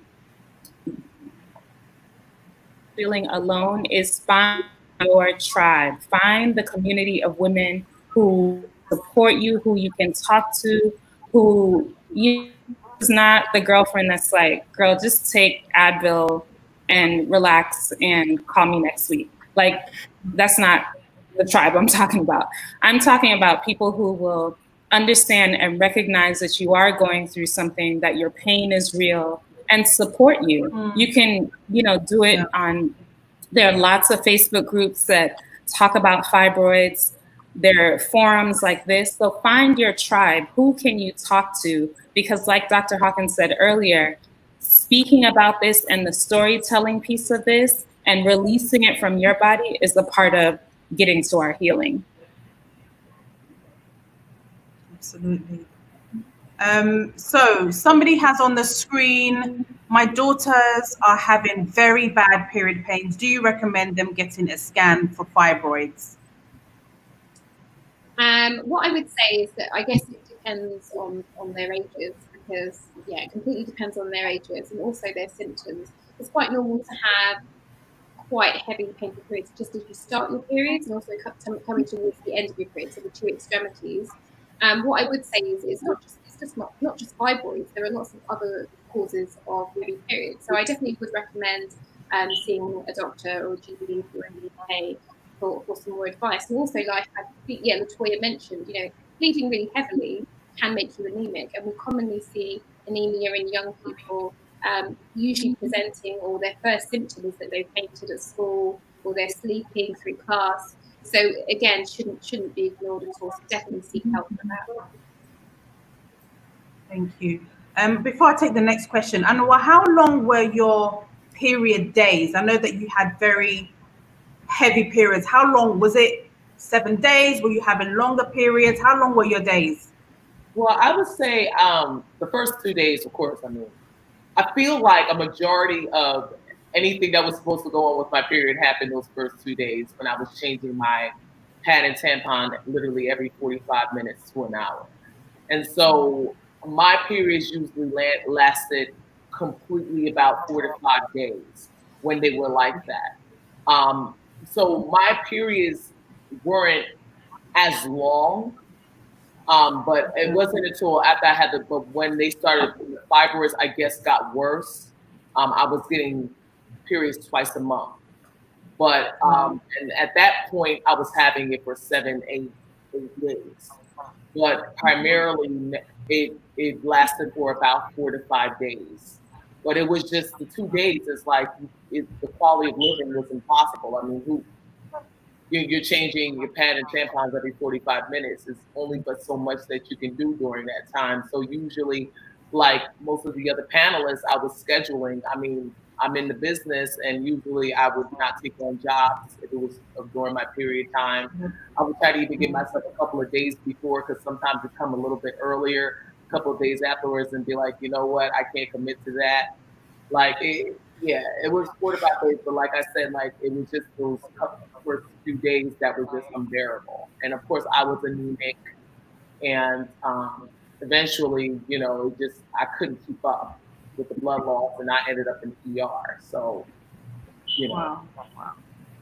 Adoma, did you have long periods? Because I have. So is is having seven day periods is that normal? Because I have seven day periods. Um, yes, uh, for me that's very normal because sometimes I can go up to ten days. Um, it just would vary. Uh, the very first time around, I was I actually had a cycle that lasted two and a half weeks that was the longest one. And then a few days later, it came back. So long cycles. I'm pretty used to those. Yeah. And, and that's normal to me. Okay. Doc, is that normal? Dr. Hawkins, is seven days, 10 days, is that normal? From a textbook definition, no, that's not normal. From a textbook standard, um, they would quote and say that a normal menstrual cycle is five days or less and less than eight 80 milligram, 80 milliliters or 80 cc's of blood. The cup that the, you go and receive when you go to the doctor's appointment to leave a urine sample is 100 cc's. So less than that for the entire period would be considered from a textbook definition of normal cycle, which many of us on the first day of a heavy day of our cycle we'll do that when we wake up in the morning. You know what I mean? So can you imagine if you're losing in excess of what is quote unquote normal, you're losing pints of blood sometimes with each menstrual cycle. That is how you end up being so anemic and so profoundly anemic for some of us that will have fatigue and headaches and um, syncope episodes and um, loss of productivity because we're losing way too much blood for our body to actually compensate and keep up with. So, no, it's not normal it's not normal at all. But you know, I wouldn't say that if your cycles were light and they lasted for seven days to run to the doctor and scream, you know, that everything is coming to an end.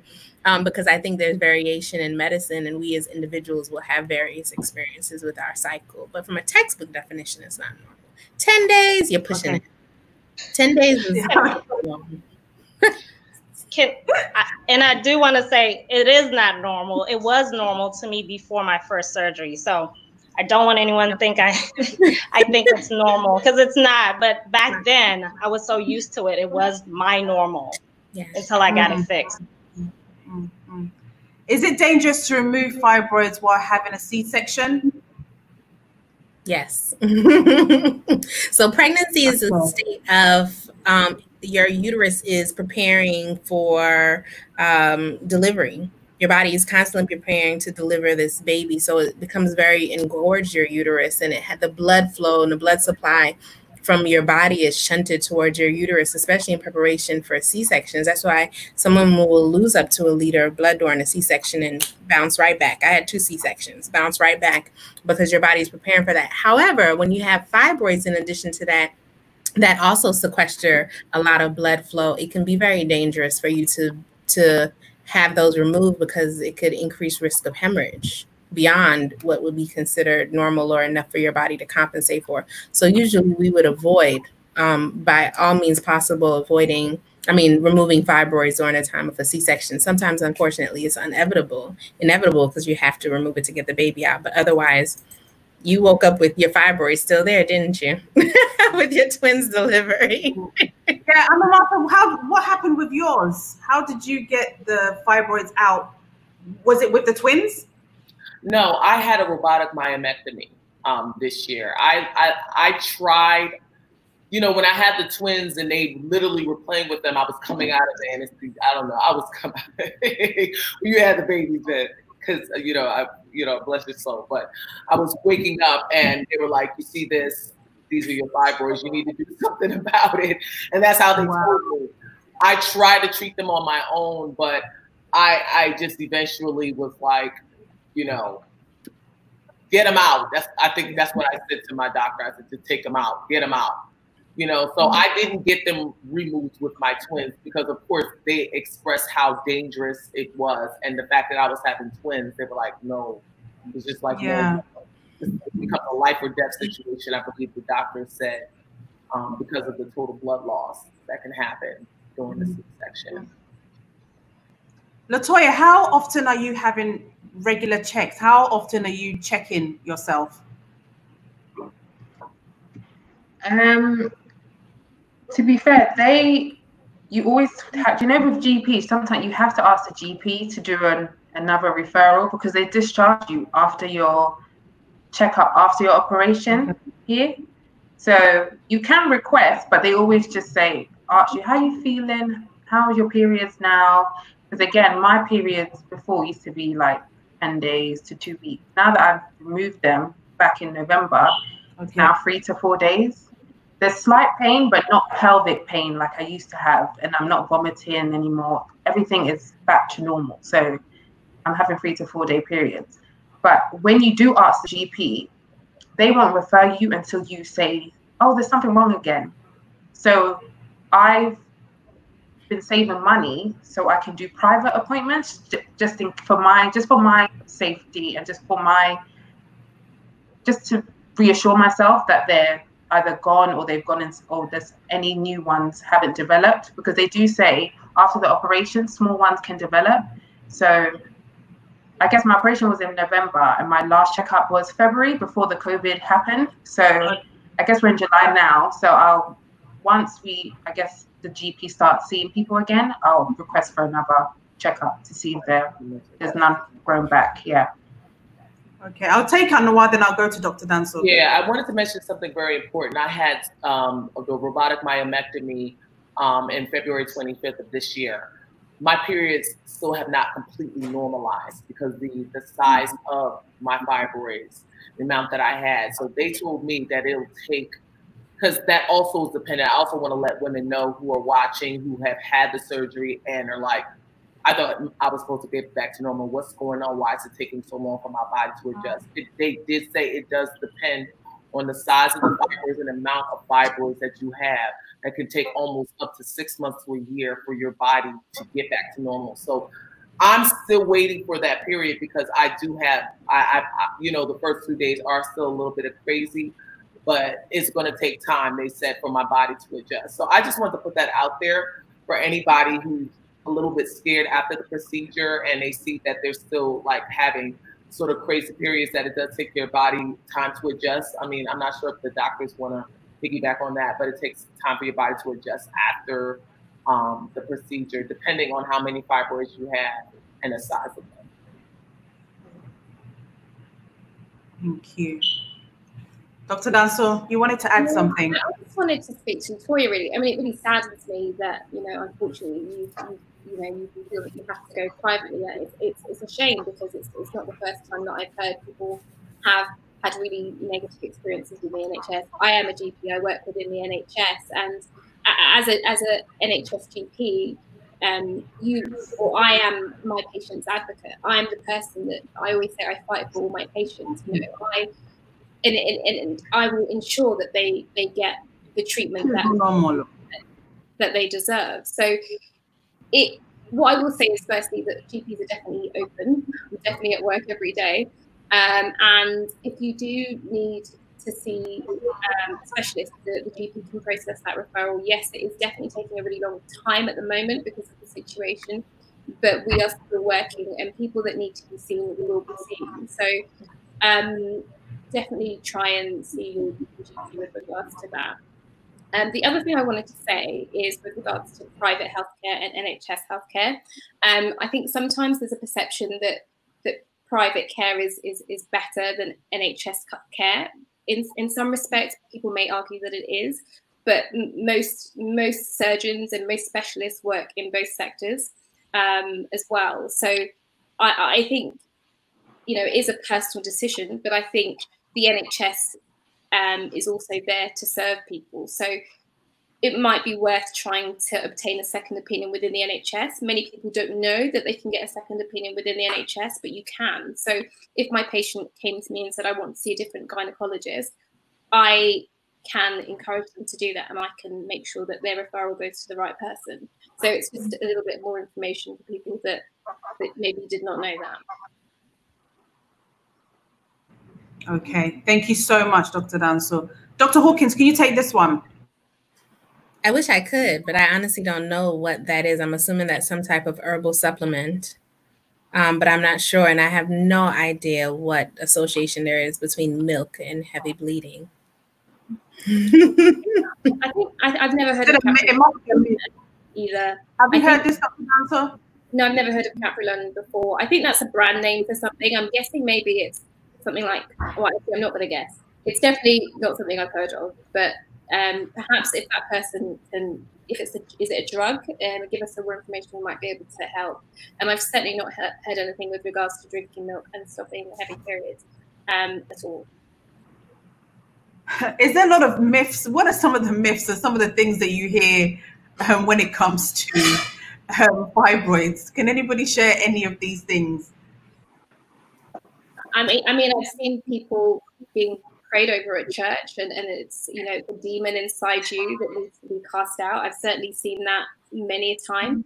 Um, you know, there is definitely a role for religion in terms of like support and um, relieving some anxiety, but but realistically, that's not going to get rid of your fibroid or your heavy heavy bleeding. So there are so many myths associated with, with fibroids. Um, we talked about infertility as, as one of those things.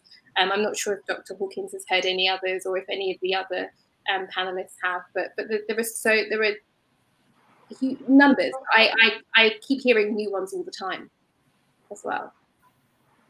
Okay. All right, guys, we've got 10 more minutes to go. We're going to run through the questions that are on the screen and then we will wrap up. Um, but I can't thank my guests so far It's been an amazing conversation. Um, obviously, there's a lot of questions, so I'm going to run through them as quick as possible. Um, how long does it take uh, to develop? Because my wife has just developed three, which were not visible last year, size 15. I think she's got times one 15 centimeters and four 15 so fibroids can grow anywhere from a centimeter to uh, half a centimeter to a centimeter a year, typically. Um, fibroids, when they're usually discovered, maybe on examination, maybe even before symptoms present, are usually sizable because the doctor has to be able to feel it and palpate it on that what we call bimanual exam. Sometimes, depending on how the fibroids grow, if they're growing more posterior towards the back, sometimes they're not felt very easily on exams, and that's how they can be bigger. Um, when they're first diagnosed and it seems as if okay it's been missed all of this time because clearly it didn't grow to be 14 centimeters in a year's time A normal sized uterus is eight by five centimeters, or give or take eight by five centimeters. So that definitely is an enlarged uterus, but it has been growing for some time. It didn't happen within the last year. It's just that it wasn't necessarily probably felt on examination, but it would have, it should have shown up on an ultrasound way before now. Okay, doc. So the Mercy has come back. So do you know what the drug is? Yeah. Yes. Yeah. That was a name brand. It was. Yeah. um, so yeah, tranexamic acid is something that we use quite commonly. Um, it's non-hormonal. It works to reduce um, the amount of flow, so how much you bleed. It's quite effective actually, um, and it's also a good option for people who don't want to rely on something indefinitely. You can, you can sometimes use it as and when, um, and it's hormonal. So uh, it's it's a preference for many people too. Okay, fantastic. Um, Chrissy, any other questions that we have?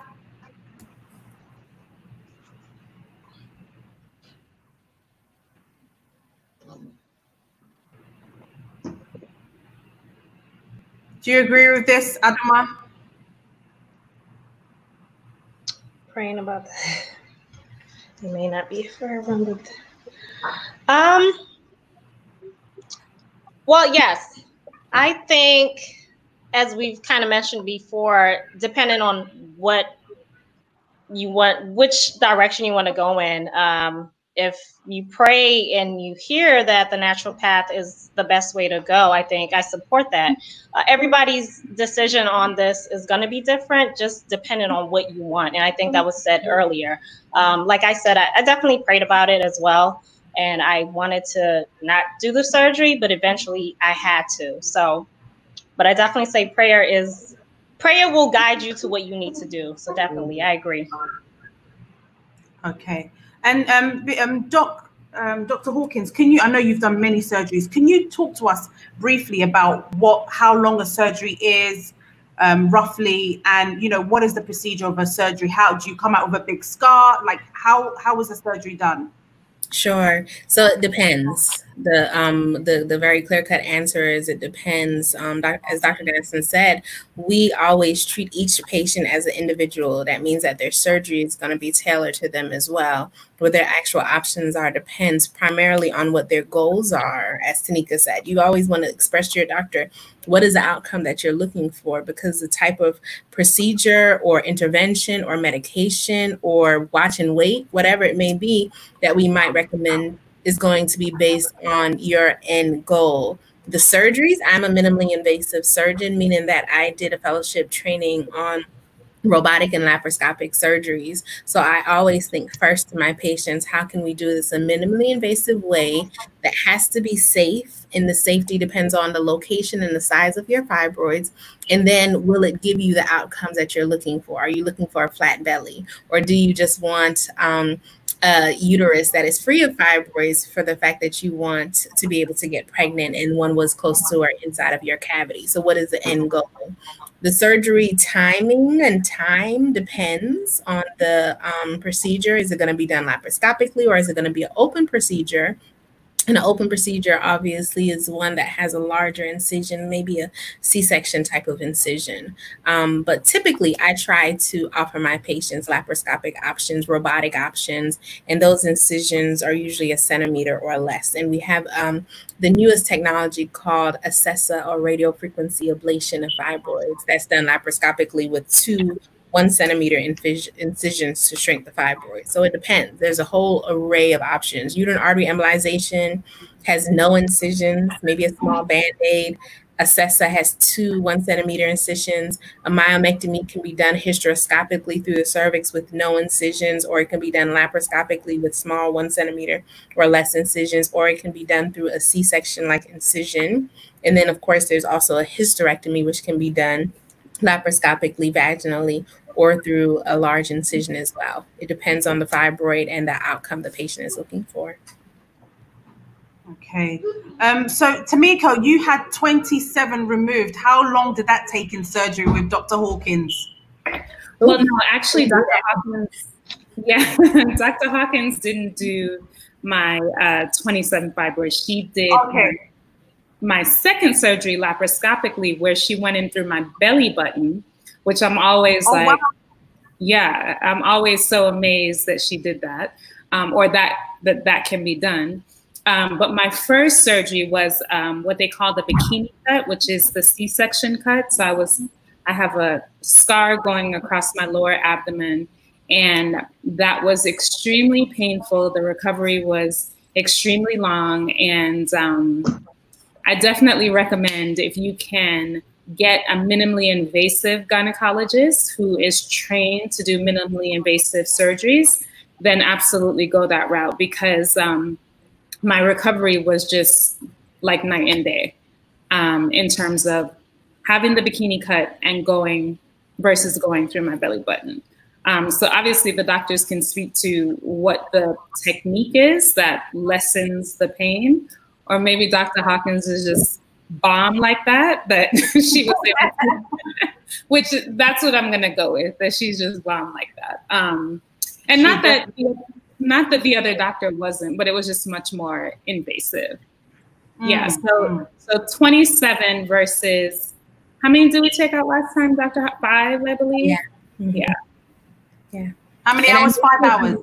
Yeah, it depends on the size and the locations of the fibroid, what you're actually a good candidate for. So some patients like mine, I had a lapar, I mean, I had an open um, abdominal procedure like Tanika. So I have an incision from hip to hip but it was because my fibroids were too large for a laparoscopic option. So the second time Tanika presented, her uterus and her fibroids were smaller than I'm sure they were the first time with her right. first physician that had to offer her a more invasive procedure. And even in that, educate yourself, ladies. Like know that even if you have an open abdominal procedure, ask for an On-Q pump, ask for a Silverlon dressing, and ask for the things that will make it less invasive. My patients, even after an open abdominal procedure, still go home the very next day and they go home in very minimal pain. And many of them use maybe a handful of narcotics, if any at all, from an open abdominal procedure.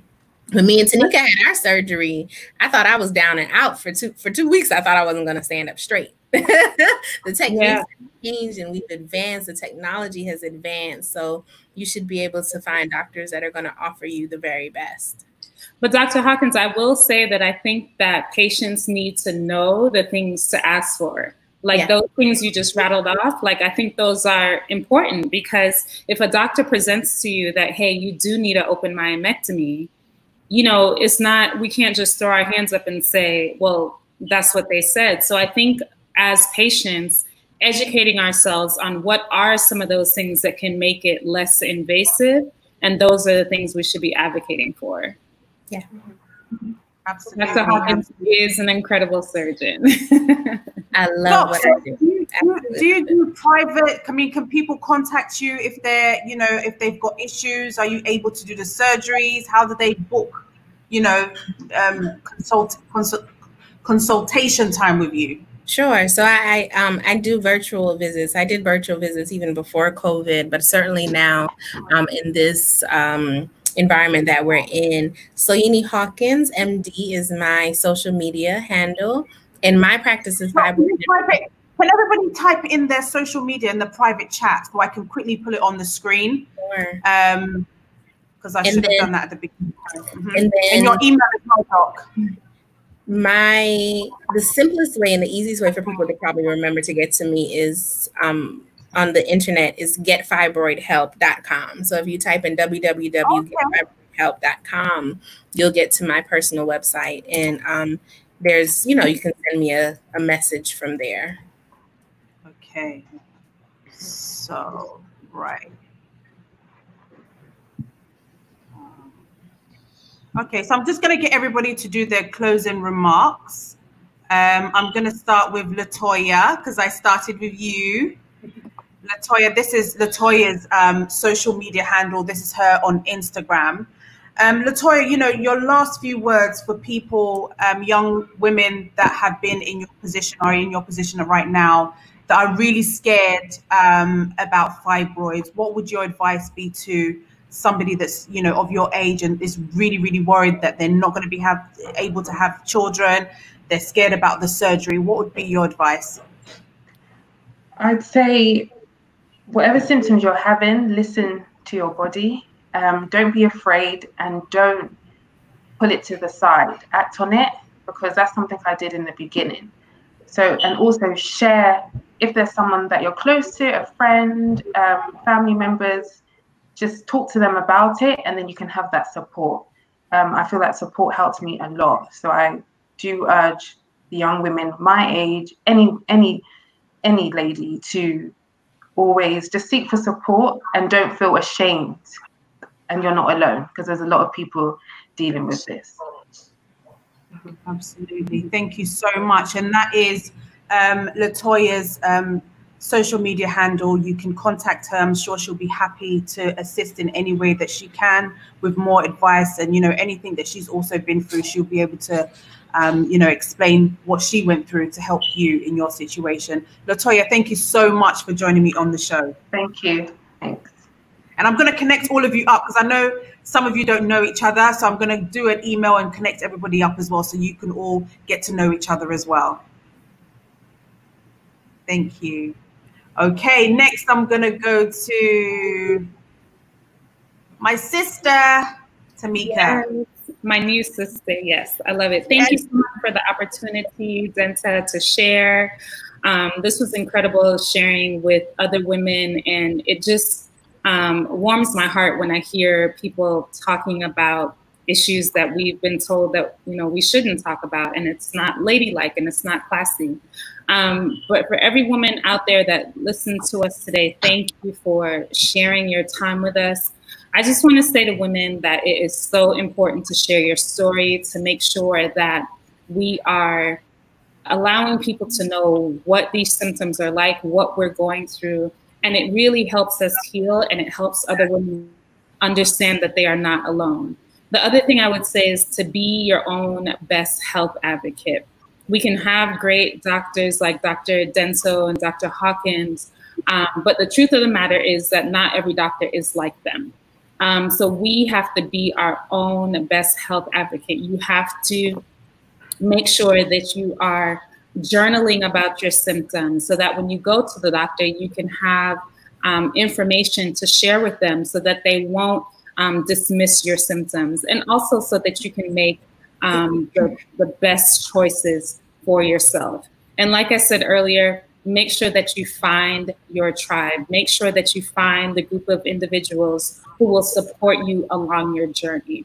And also, I didn't, I don't think about this earlier. We did talk about the mental health component, but also I found that therapy and finding a mental health professional to help me through this was is important. I think it was uh, Latoya who talked about um, not even recognizing that she was going through some form of depression.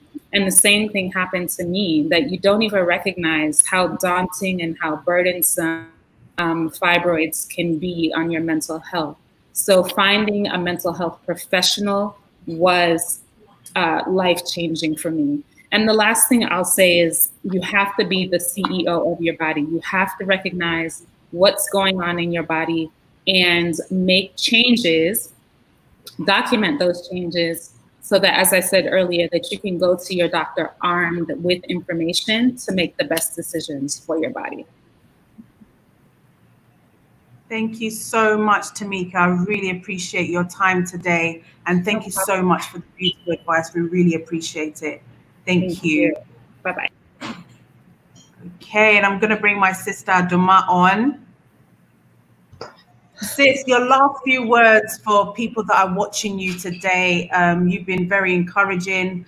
Um, what is your last words to say to people that are um, also in your position and don't know what to do? Well, I'll start off with saying this. I won't say too much because I'll end up crying. This was phenomenal. But um, to everyone watching, I will definitely say be fearless. Um, as soon as we hear bad news, we let fear take over. But be fearless and just have faith in whatever's going to happen next. So be fearless. Don't be afraid.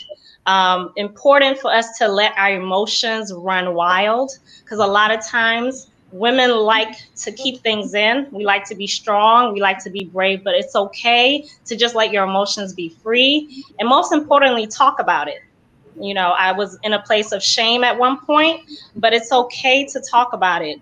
Don't worry about what people think or what they will say, because the ones that really care about you and love you will help you get help. Because sometimes we don't know how to get help for ourselves. They will help you get help. So just be fearless, be brave, important, talk about it, and get the help that you need. Thank you. Thank you so much, Aduma. I really appreciate you. Thank you, sis. Yeah. Okay, I'll go over to my sister, Equia. Oh, hold on. There she is. Equia, so, uh, you know, young people of your age, 23, married, um, you know, there could be a young person that's also married, very scared to even talk to her partner about it. What would be your advice to them? Um, I would definitely say don't be scared to talk to your partner at this point. If you're married, be open with your husband. You guys want to go through it together. Because um, even if you don't tell them, they can see the thing they're going through, and it's better to go through it with somebody not feel alone all the time.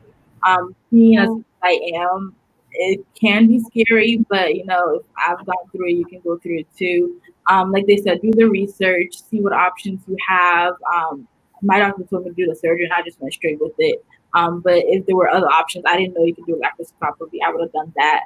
Um, so definitely do your research, and like Tanika said, know your body, listen to your body, and do not ignore the symptoms.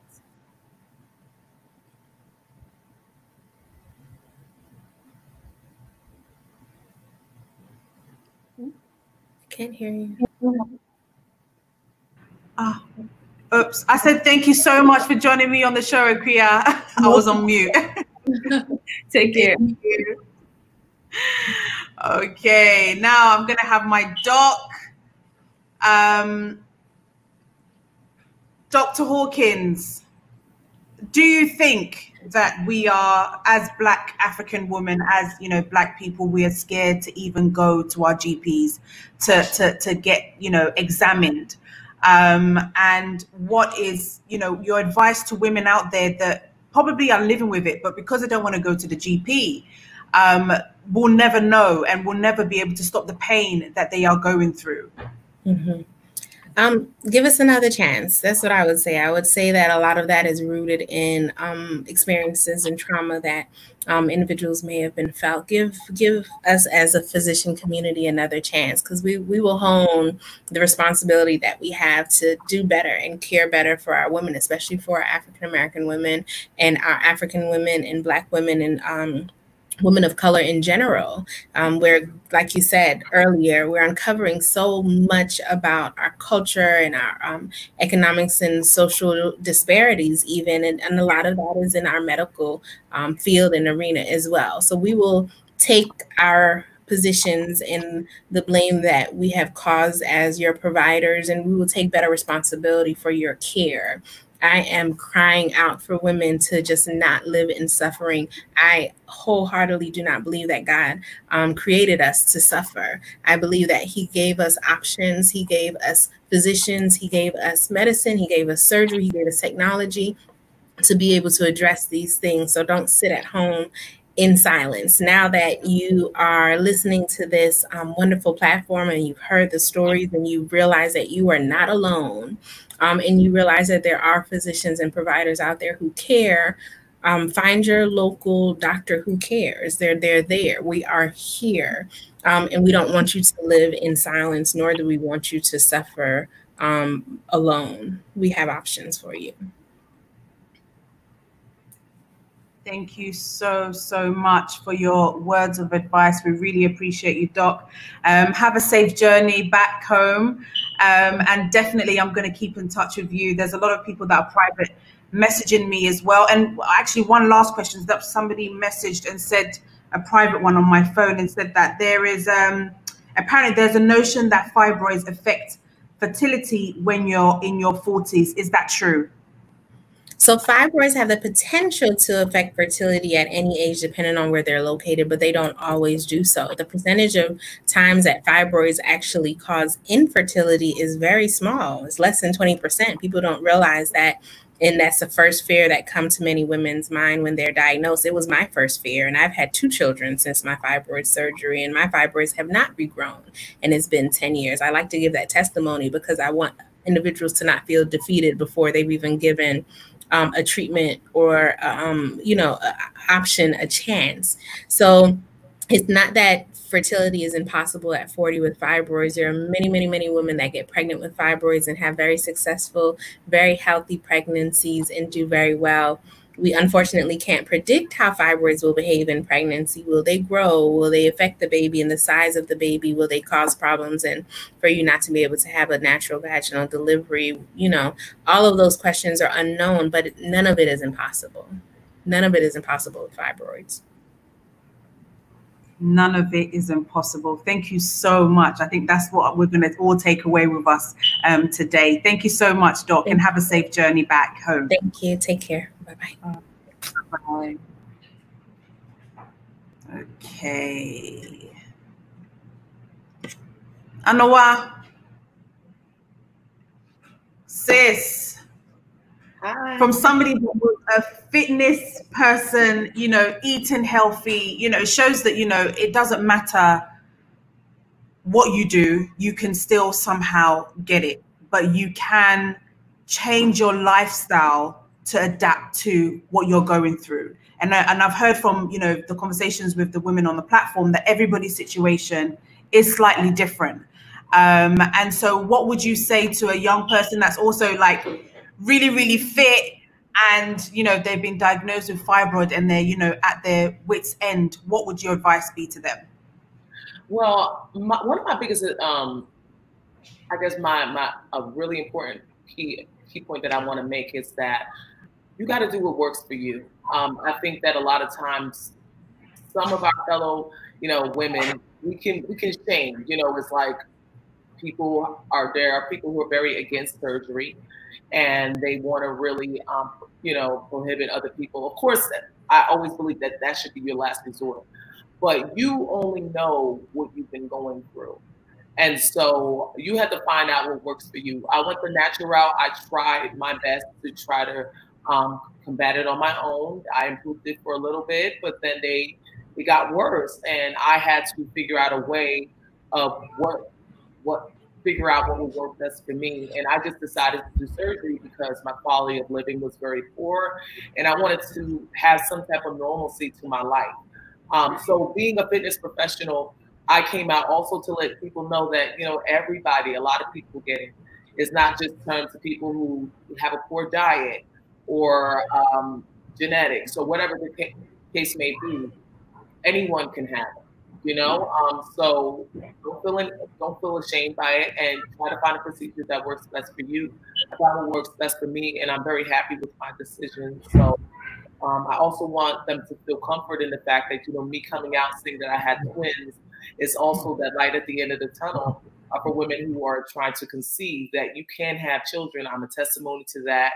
Um, I the fibroids were there while I was pregnant. Um, so anything is possible. Find what works for you. And also don't give up hope you know. Don't give up hope.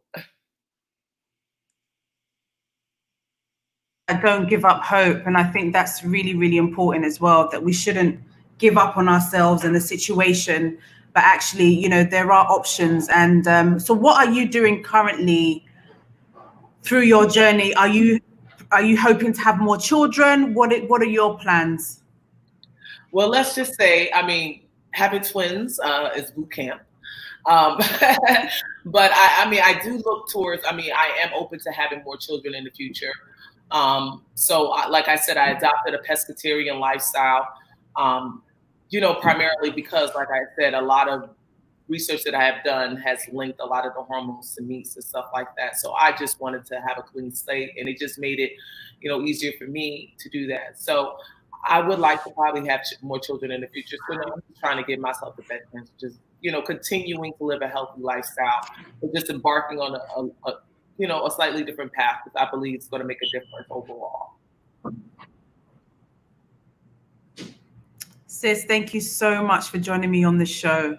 Yes, I'm definitely going to be connecting with you after this. because you. that body that you have, that fitness, that all of that, I need to get some of that. So I'm going to be messaging you after this show. all right, no problem. Thank you for having me. Thank, Thank you. you. Thank you, sis.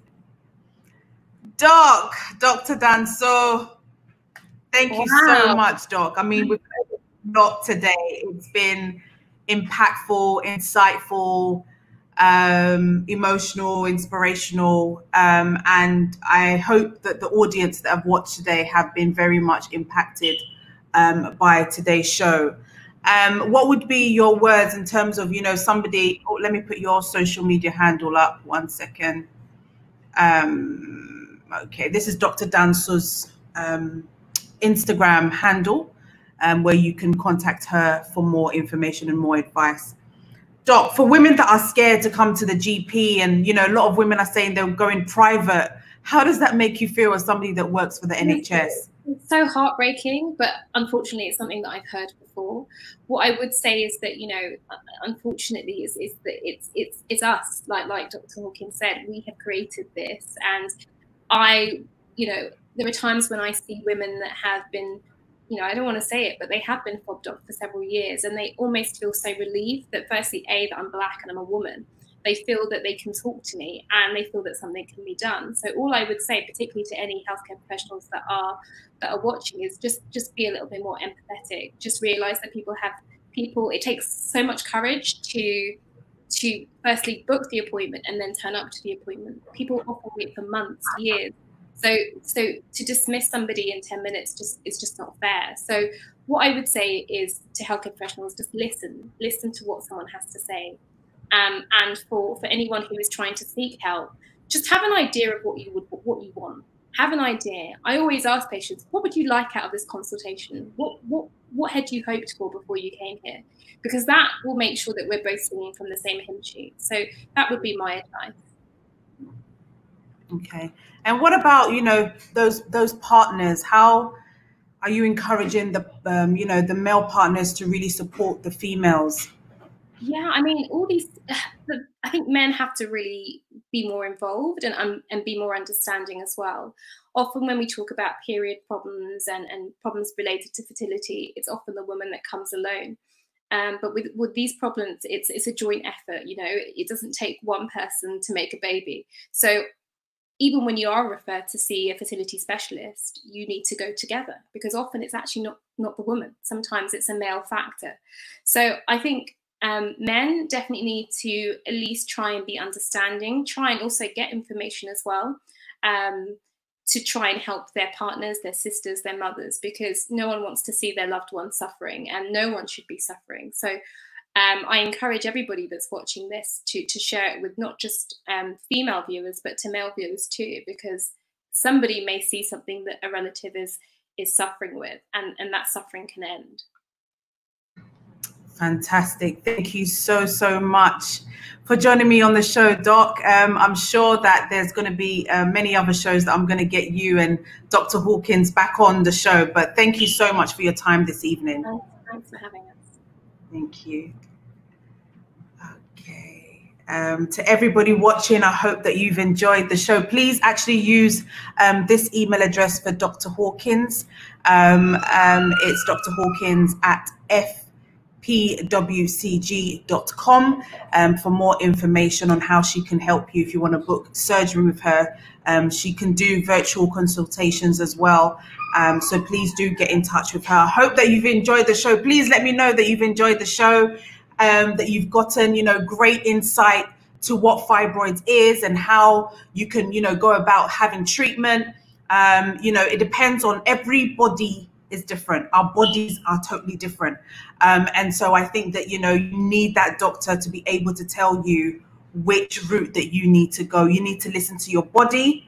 Um, you need to see that, you know, if I'm getting cramps, if I'm getting lower back pains, something is absolutely wrong. And so it's important for us Black people to make sure that we're going for checkups. I think it's something that, you know, we don't like to do, but it's really, really important that we do go to regular checkups and check up on ourselves, our breasts, everything, so we don't find out things when they are very, very late on when you could have done something about it earlier on.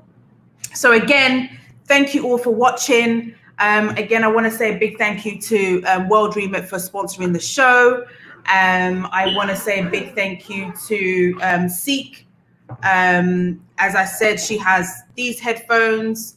Look at these. They are amazing. When you listen to music, you're just your ear your earbuds are just buzzing because it's powerful. You can hear the beat, the bass, everything. Um, go online to www.ceekvr.com use the promo code Dentaa VIP and everybody gets 10% discount off on all CEEK products. So make sure that you go online and you purchase one. Um, again, here's the products, how it looks like, absolutely beautiful, stunning. Um, a big thank you to WorldRemit, as I said before, for um, supporting our show. Um, and I say a big thank you to Glow Village, again, um, supporting young people that are doing amazing things. Um, this is her Instagram if you want to purchase some of her products. Um, and I've also got a Regal Touch. I'm just going to put a picture up of, you know, the type of balloons that she's doing for birthdays, christenings. You know, get in touch with her if you are wanting to give a loved one a surprise for their birthdays or christenings or weddings, whatever it is. She also does events as well so you can contact her for your needs. Um, again, I say thank you to my team uh, for making today possible. Without you, the show would not be possible. So thank you so much um, to all my team. Uh, I'm so glad people are enjoying the show. Thank you for the great conversation. Um, and again, my my speakers, um, I must say, you know, I messaged everybody literally on Instagram, and they all were just up for it and have been able to come on here and share their experiences. I can't thank them enough. Um, thank you, Chrissy. Thank you, Naomi, Pearl, and Cassandra for putting on the show and contacting everybody and emailing everybody. Um, I hope that you've been inspired. I hope that you've been educated. And I hope that a lot more of you um, when you see somebody with a big belly, not to say you look pregnant or whatever, we don't know what people are going through. We don't know what people are having and what issues they're going through. And so it's really, really important that we are sensitive to everybody. Thank you so, so much for watching tonight's show. I will see you next week, Thursday, where we'll bring you another topic. Um, if there's any other topics that you also want to see, any other um, social Sundays are social Sundays, and so let me know if there's. I know somebody emailed me about we should talk about sickle cell. Um, somebody emailed me that we should talk more about breast cancer on Sundays. Please let me know what topic that you think um, is in our community that would impact on people that we can, you know, discuss and talk about. Um, thank you so, so much, everybody. Have a wonderful evening, and I'll see you next week. God bless you. Bye bye.